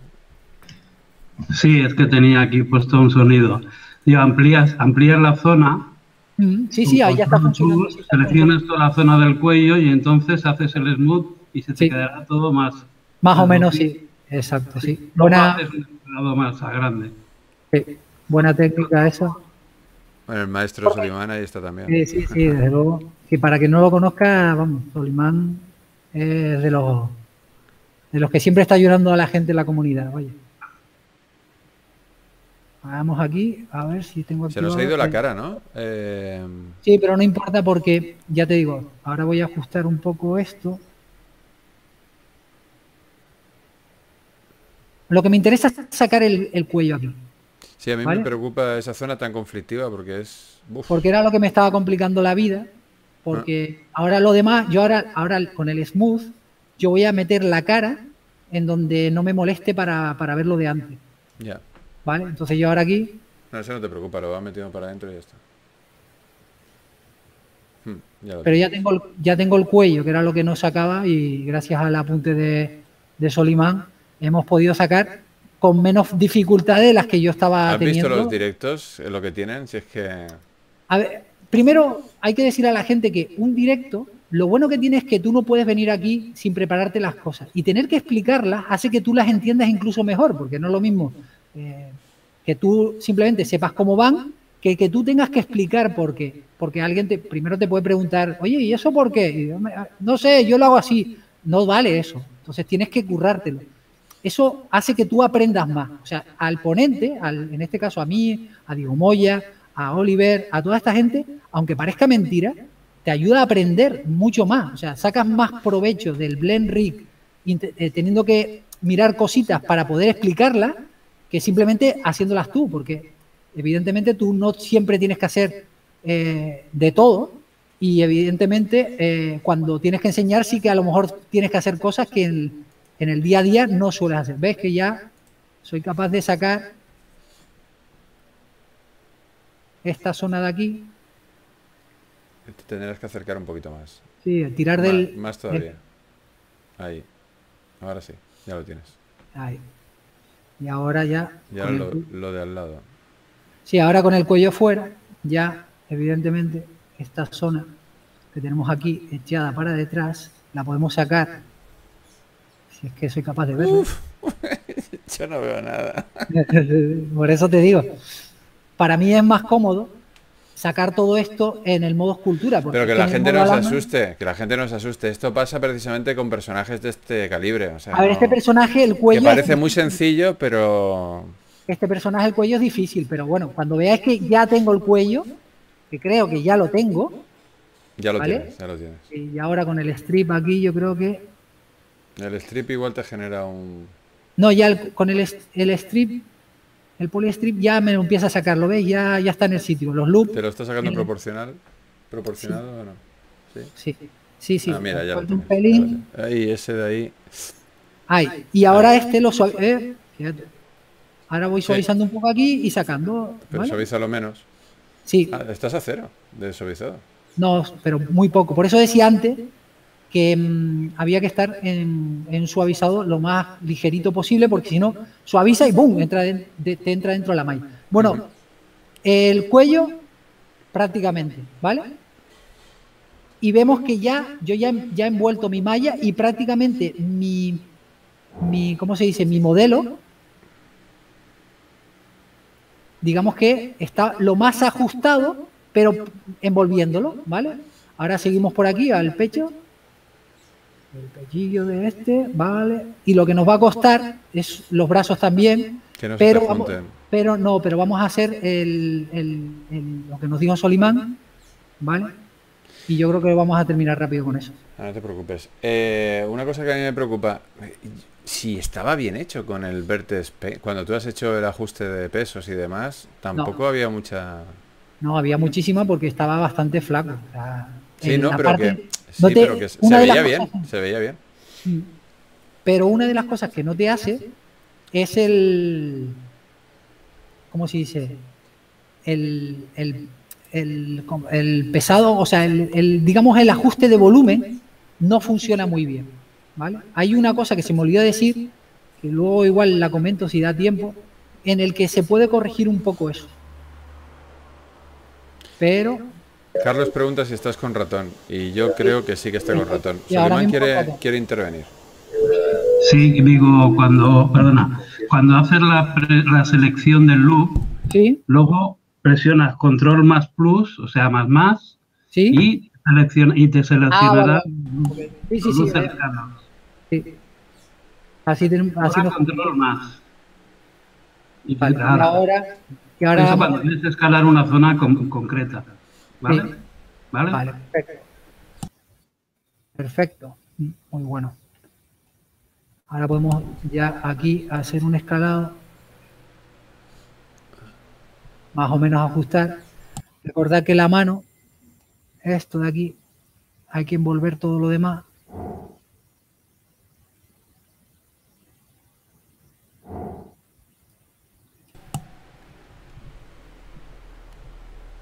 Y el loop principal lo está, te estás fijando, ¿no? En todo momento. No se te ha ido. Sí, pero en la mano de, realmente como no tiene un doblez. No, te lo decía por el por la muñeca, Sí, si no. tienes ahí. No, no, la muñeca.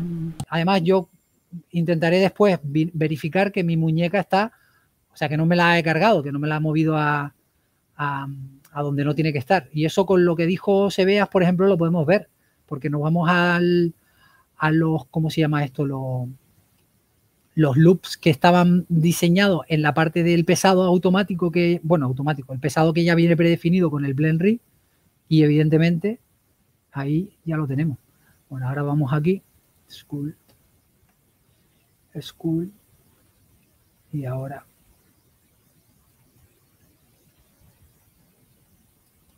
aquí.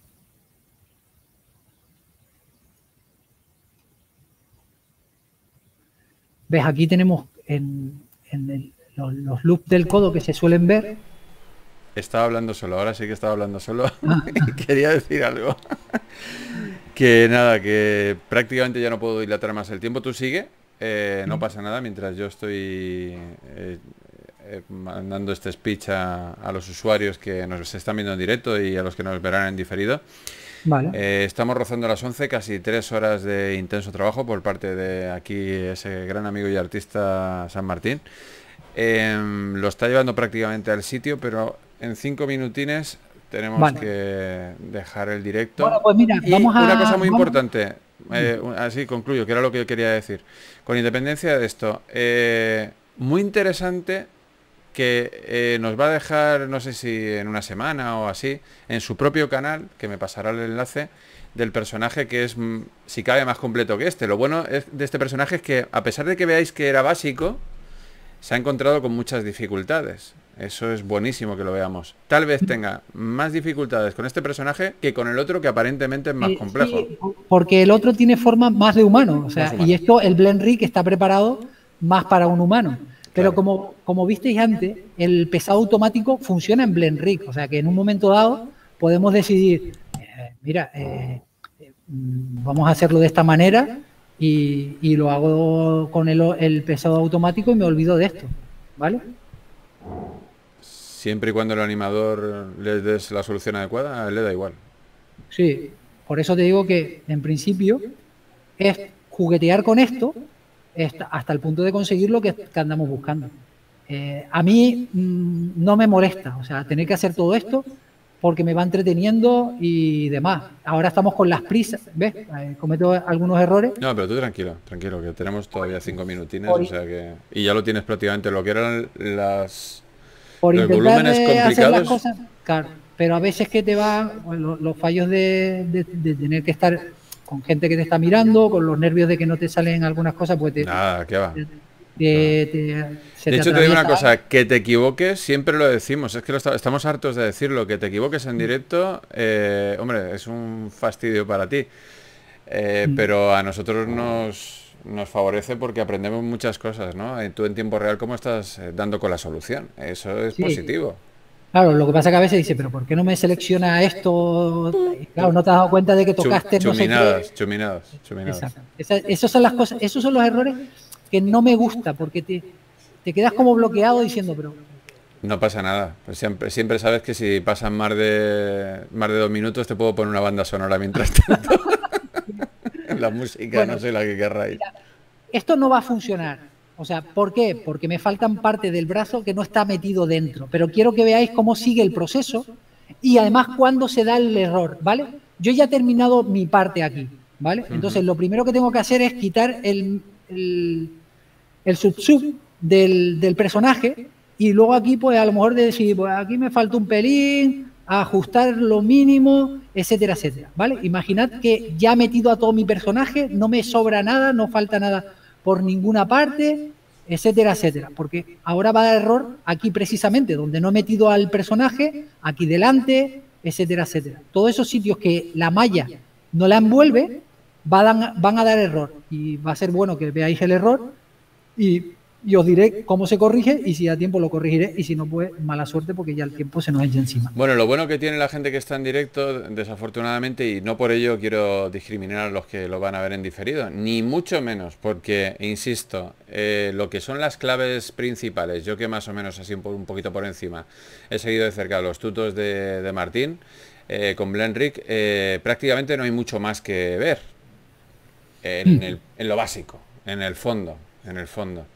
Entonces, eh, lo que puedes hacer en off para ellos, cuando ya termine la grabación, si quieres, para los que están aquí. Ah, sí, yo me puedo quedar un rato más. Terminar, terminarlo si puedes, si puedes, porque claro, yo tampoco quiero interrumpir el cierre de, esto, ¿vale? Vale, lo siguiente que hay que hacer es, tenemos que seleccionar nuestro personaje. Recordad que antes yo eh, cogí al personaje y, lo tuve que... Mm, le, di, la opción de no de que no me equivocara toqueteándolo para, para que, o sea, que no, vamos, que no lo moviera sin querer. A ver si lo localizo por aquí, donde lo tengo escondido.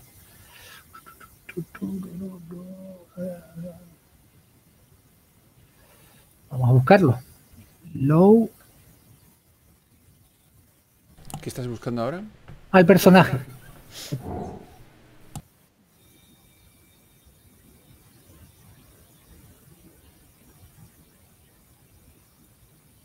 Bueno, pues todo. Y que se pueda mover todo.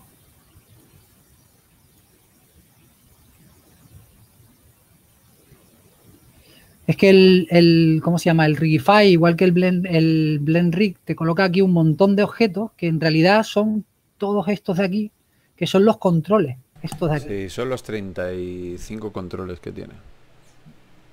pues este tiene unos cuantos más. O 36, no sé a ver si se escapa. Mira a ver si 32, sí. Si veo al modelo. ¿Y no lo puedes renombrar ese modelo para poderlo tú localizar? ahora mismo para poderlo localizar necesito localizarlo, porque claro, al ocultarlo... evidentemente, pero digo, digo antes. A ver, Mornite, a ver si lo escribió así. Mornite no. Vale, espera un momento, ya sé. Ha dicho Fornite, ¿no? Fornite. Que está bien dicho, ¿eh? Sí, sí. Oye, perfecto. Que había entendido otra cosa. Te iba a decir, ¿qué más quisiera ya? Vale, se llama Criatura Low. Vale, entonces vamos aquí. Estamos.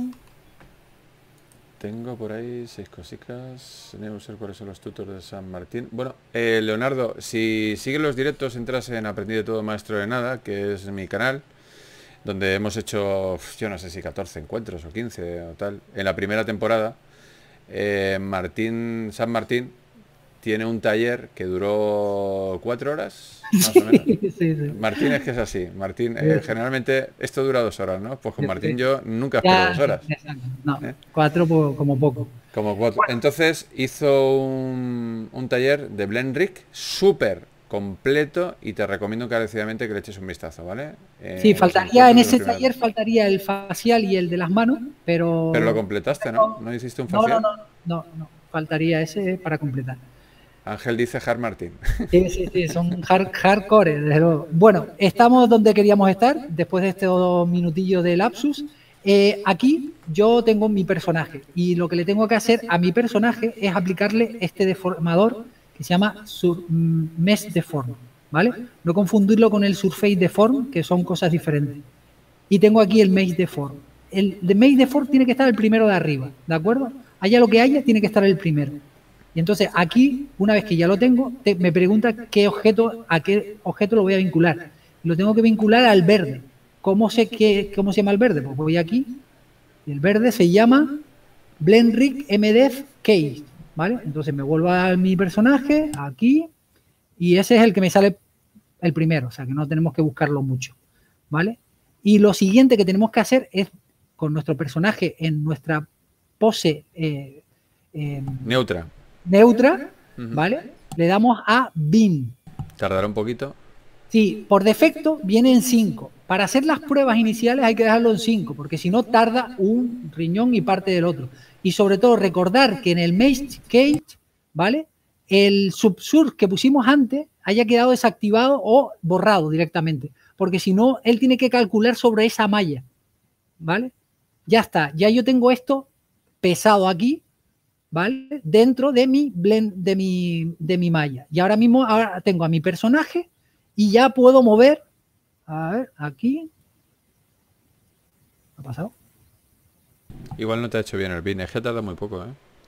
No, me acaba de decir que sí, espérate a ver. Sí, pero a veces te dice que sí, pero no. Pues sí, quiero, sí pero no. Es, es precisamente lo que ha hecho, porque No, por eso El- te digo que es que el bin, te, te he visto que tardaba muy poco. Generalmente tarda, aunque era No, el, el BIM, el BIM para, para terminarlo, o sea, cuando terminamos nuestro BIM, tiene que estar en el número 7. O sea, pero empezamos por el número. El número, ¿cómo se dice? El número 5, o el número 4, o el número 6. Vamos a probar con el número 6 a ver si es porque. ¿Cuánto le metes tú de bin? ¿Cuánto le introduces, has dicho? Cuando ya es Eh, definitivo. En definitivo tiene que ser 7. Más de 7 es una locura. Ah, por eso había entendido 100, digo, ma, que, que- No, no, qué estamos locos. Sí, no. Ah. Podéis olvidaros que se os cuelga la máquina y Vale, vale. vais a tener que. Claro, porque esos son los puntos de precisión que coge. Vale, vamos a ver si con el 6 ya me lo mete dentro. Este de aquí. Puede ser porque esté fuera de... Podría ser, porque igual tiene un, Sabes que el bin tiene número que... Es lo que te iba a decir. ¿No tiene ningún offset esto? Sí, lo que podemos hacer es que puedo hacerle, met- meterle el modificador eh, displays y eh, con ese ha- hago que toda la malla se aumente, se escale toda. Eh, Es lo que digamos que, la precisión va a ser una, una burrada, pero por lo menos para que lo veamos. Mm. Vamos a darle un segundo y si no lo hace, pues pasamos al plan B. Sí, yo creo que es el offset ese que tiene. Como tienes cosas fuera... Sí, porque normalmente yo no suelo hacer el bin con toda esta malla por fuera, de luego. No, Nunca lo he probado así. Lo dejas todo ajustadico. Sí, aun- aunque no quede ajustado del todo, siempre está Sí, más claro. ajustado que, que lo que estaba. Vamos a ver si termina. ¿Está todavía dándole al cálculo? Sí, porque ya te digo, hasta que no aparezca la palabra un bin, está calculando. Y en el 7, por lo que está tardando con el 5 y con el 4, eh, con el 6, el 7 me tendría que ir a dar una vuelta y a lo mejor en una hora o así estaría. O sea que cuidadito con, con eso porque tarda. ¿eh? Es más, si veo que tarda un poco más de la cuenta, a lo mejor sería bueno de... Bueno, ¿alguna pregunta mientras que está aprovechar el bin? Aprovechad. eh, quien tenga micro, levanta la mano y le doy paso, ¿vale? La manita está que hay en la esquina inferior izquierda. Y, y el que no, mira, de momento ya hay preguntitas. Vamos a ver. Sí, a Juan ¿O les puedes pedir prestado el ordenador a Juan? no creo que me lo deje. No, no, no. sí, sí, Aunque que hay un, hay un programita que puedes compartir eh, ordenadores de los demás con una granja de render eh, o de estos que le pones en la IP o tal. O sea, estaría, estaría muy guapo decirle, oye Juan, ¿me la dejas un momento que haga unos renders? el Crow Render. Pero ese es de pago, ¿no? El Crow Render. Hay uno que... o no es de pago. No, no, no, el Render no es de pago. Y puedes compartirlo de los amigos, ¿no? Lo de los colegas. No lo sé. Yo creo que no- sí, creo que sí, creo que sí. Crow Render me suena que, que hay que pagar. O que ahora están en campaña de No, pruebas o algo no, de eso. no, el Crow Render no. Creo que ese era siempre gratuito. Sí. Ese es el que pusieron un Patreon, ¿no? Y... Otra de las cosas que, bueno, ya está, vamos a ver si esta vez Ya sí está. funcionó. Sí. Venga. Eh, otra de las cosas que hay que tener en cuenta, o que me gustaría que, que hubiese, es que hubiera un, un bin y aquí te puedo dar el cálculo para que tú supieras si lo puedes cancelar o no, porque bueno, te puedes quedar aquí tostado durante horas y resulta que no. Eso no va. está previsto para que la pongan en la 2.9 o algo así. Nada, no, no funcionó definitivamente. O sea que perdimos el, vamos al plan B. Offset, vamos a hacerle un display. Vamos a. vamos a quitarle el. Lo que pasa es que al hacer eso perdemos ya el control de todo. Se va a mover, pero cuando doblemos se va a mover muy malamente. ¿vale? Vamos a quitar el multired este que era solamente por una cosa. Nos vamos aquí al unbeam. Vamos a coger esta, la malla de el cage. Bueno, deciros mientras que está ahí Martín preparándolo todo con el display, el modificador, eh, cuando termina este directo, que termina ya, eh, él va a seguir y podéis estar con él, tomaros una birra y unos platos de jalapeños con algo, porque vais a estar con él hasta el amanecer, como en la película. Bueno, aquí tenemos ya el esperpento. Vamos a ver si con esto funciona. Hostia, con esto sí que funciona, pero lo has hecho un globo, ¿no? Sí, por, es que si no, no me, cabe, no me caben las cosas dentro. O sea que, quítale el bin también, quítale resolución al bin. Sí, vamos a ponerlo en 5. Sí. Hombre, ahora sí o sí entra. Esperemos que sí. Porque ¿Cómo se mueve? Pues... Y no, lamentablemente me pondré ahí a corregir y lo verán los que estén aquí. No, bueno, pero escucha, eh, lo que es el, flujo de trabajo es el que es. Sí, sí, es el que es, es este. Eh, si te falta, te falla la malla, no entra la malla, ¿vale? Y, cuando mueve, nada. ¿Tampoco? No, no entra. Algo, algo ha pasado, ¿no? Sí, porque él tiene que, eh, digamos que mover este objeto aquí. Bueno. Martín, te voy a proponer que hagas una cosa, si te parece bien. Dime. ¿Tienes capacidad ahora en, el, en lo que se va a ver eh, entre bambalinas, que yo no tengo ya acceso a esto porque tengo que salir, de grabar lo que va a suceder después eh, y juntarlo con el timelapse? Sí, bueno, ya vamos a probar. Sí. Vale, igual, igual, escúcheme, igual es que algo por aquí he tocado en alguna parte y resulta que después de un rato lo averiguamos aquí. Por eso te digo. Bueno, compañeros, pues primero, agradecer al artista que haya estado con nosotros, que me consta que llevo detrás de él mucho tiempo, aunque estamos muy en contacto, pero las cosas son como son y no siempre... ¿Se ha ido la conectividad ahora de Martín? Sí, me he ido. Ah, no, ya estás, ya estás ahí.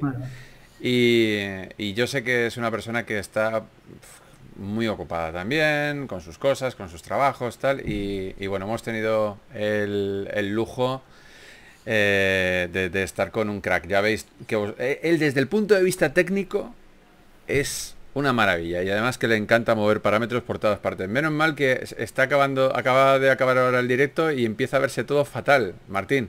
Pero bueno, hemos grabado el directo sin ningún tipo de problemas, cosa que no me lo creo ni yo. Ya espero también que tengamos sonido. Por cierto, el anterior encuentro se nos fue el sonido, no sabemos por qué, se me escuchaba a mí, que era el que menos tenía que hablar, ¿vale? Eh, se vio de maravilla y Diego Moya lo que va a hacer es eh, poner una voz eh, en off. Como estudió doblaje no va a tener ningún problema. va a hacerlo de maravilla. y, por otro lado, dice Oma, hola, soy Iván Baymax, tu cuidador. Dice Ángel Agudo, yo sin prisa, hasta las 11 de madrugada no salgo del curro, le pongo en modo fondo de pantalla. Bueno, lo dicho compañeros, que ha sido un placer estar con vosotros. Nos vemos en el quinto encuentro con eh, Odín Fernández. Hablaremos de... ¿Odín Fernández? ¿Odín Fernández? Hablaremos de... No, ah, ah, sí, hand painting. Hablaremos de hand painted, ¿vale? Ah. Hand painted. Y de la misma forma eh, procederemos con el mismo formato que tenemos. Eh, el personaje principal eh, creo que lo hará con diferentes técnicas, Odín Fernández. No sé si va a utilizar Substance o, Blender directamente para el Hand Painted. aprovechando que está aquí mi amigacho Martín. Martín, gracias, lo dicho. Y, me da igual, tú sabes, lo que haga Odín va a estar bien, ¿verdad? Si lo hace por Blender o si lo hace con...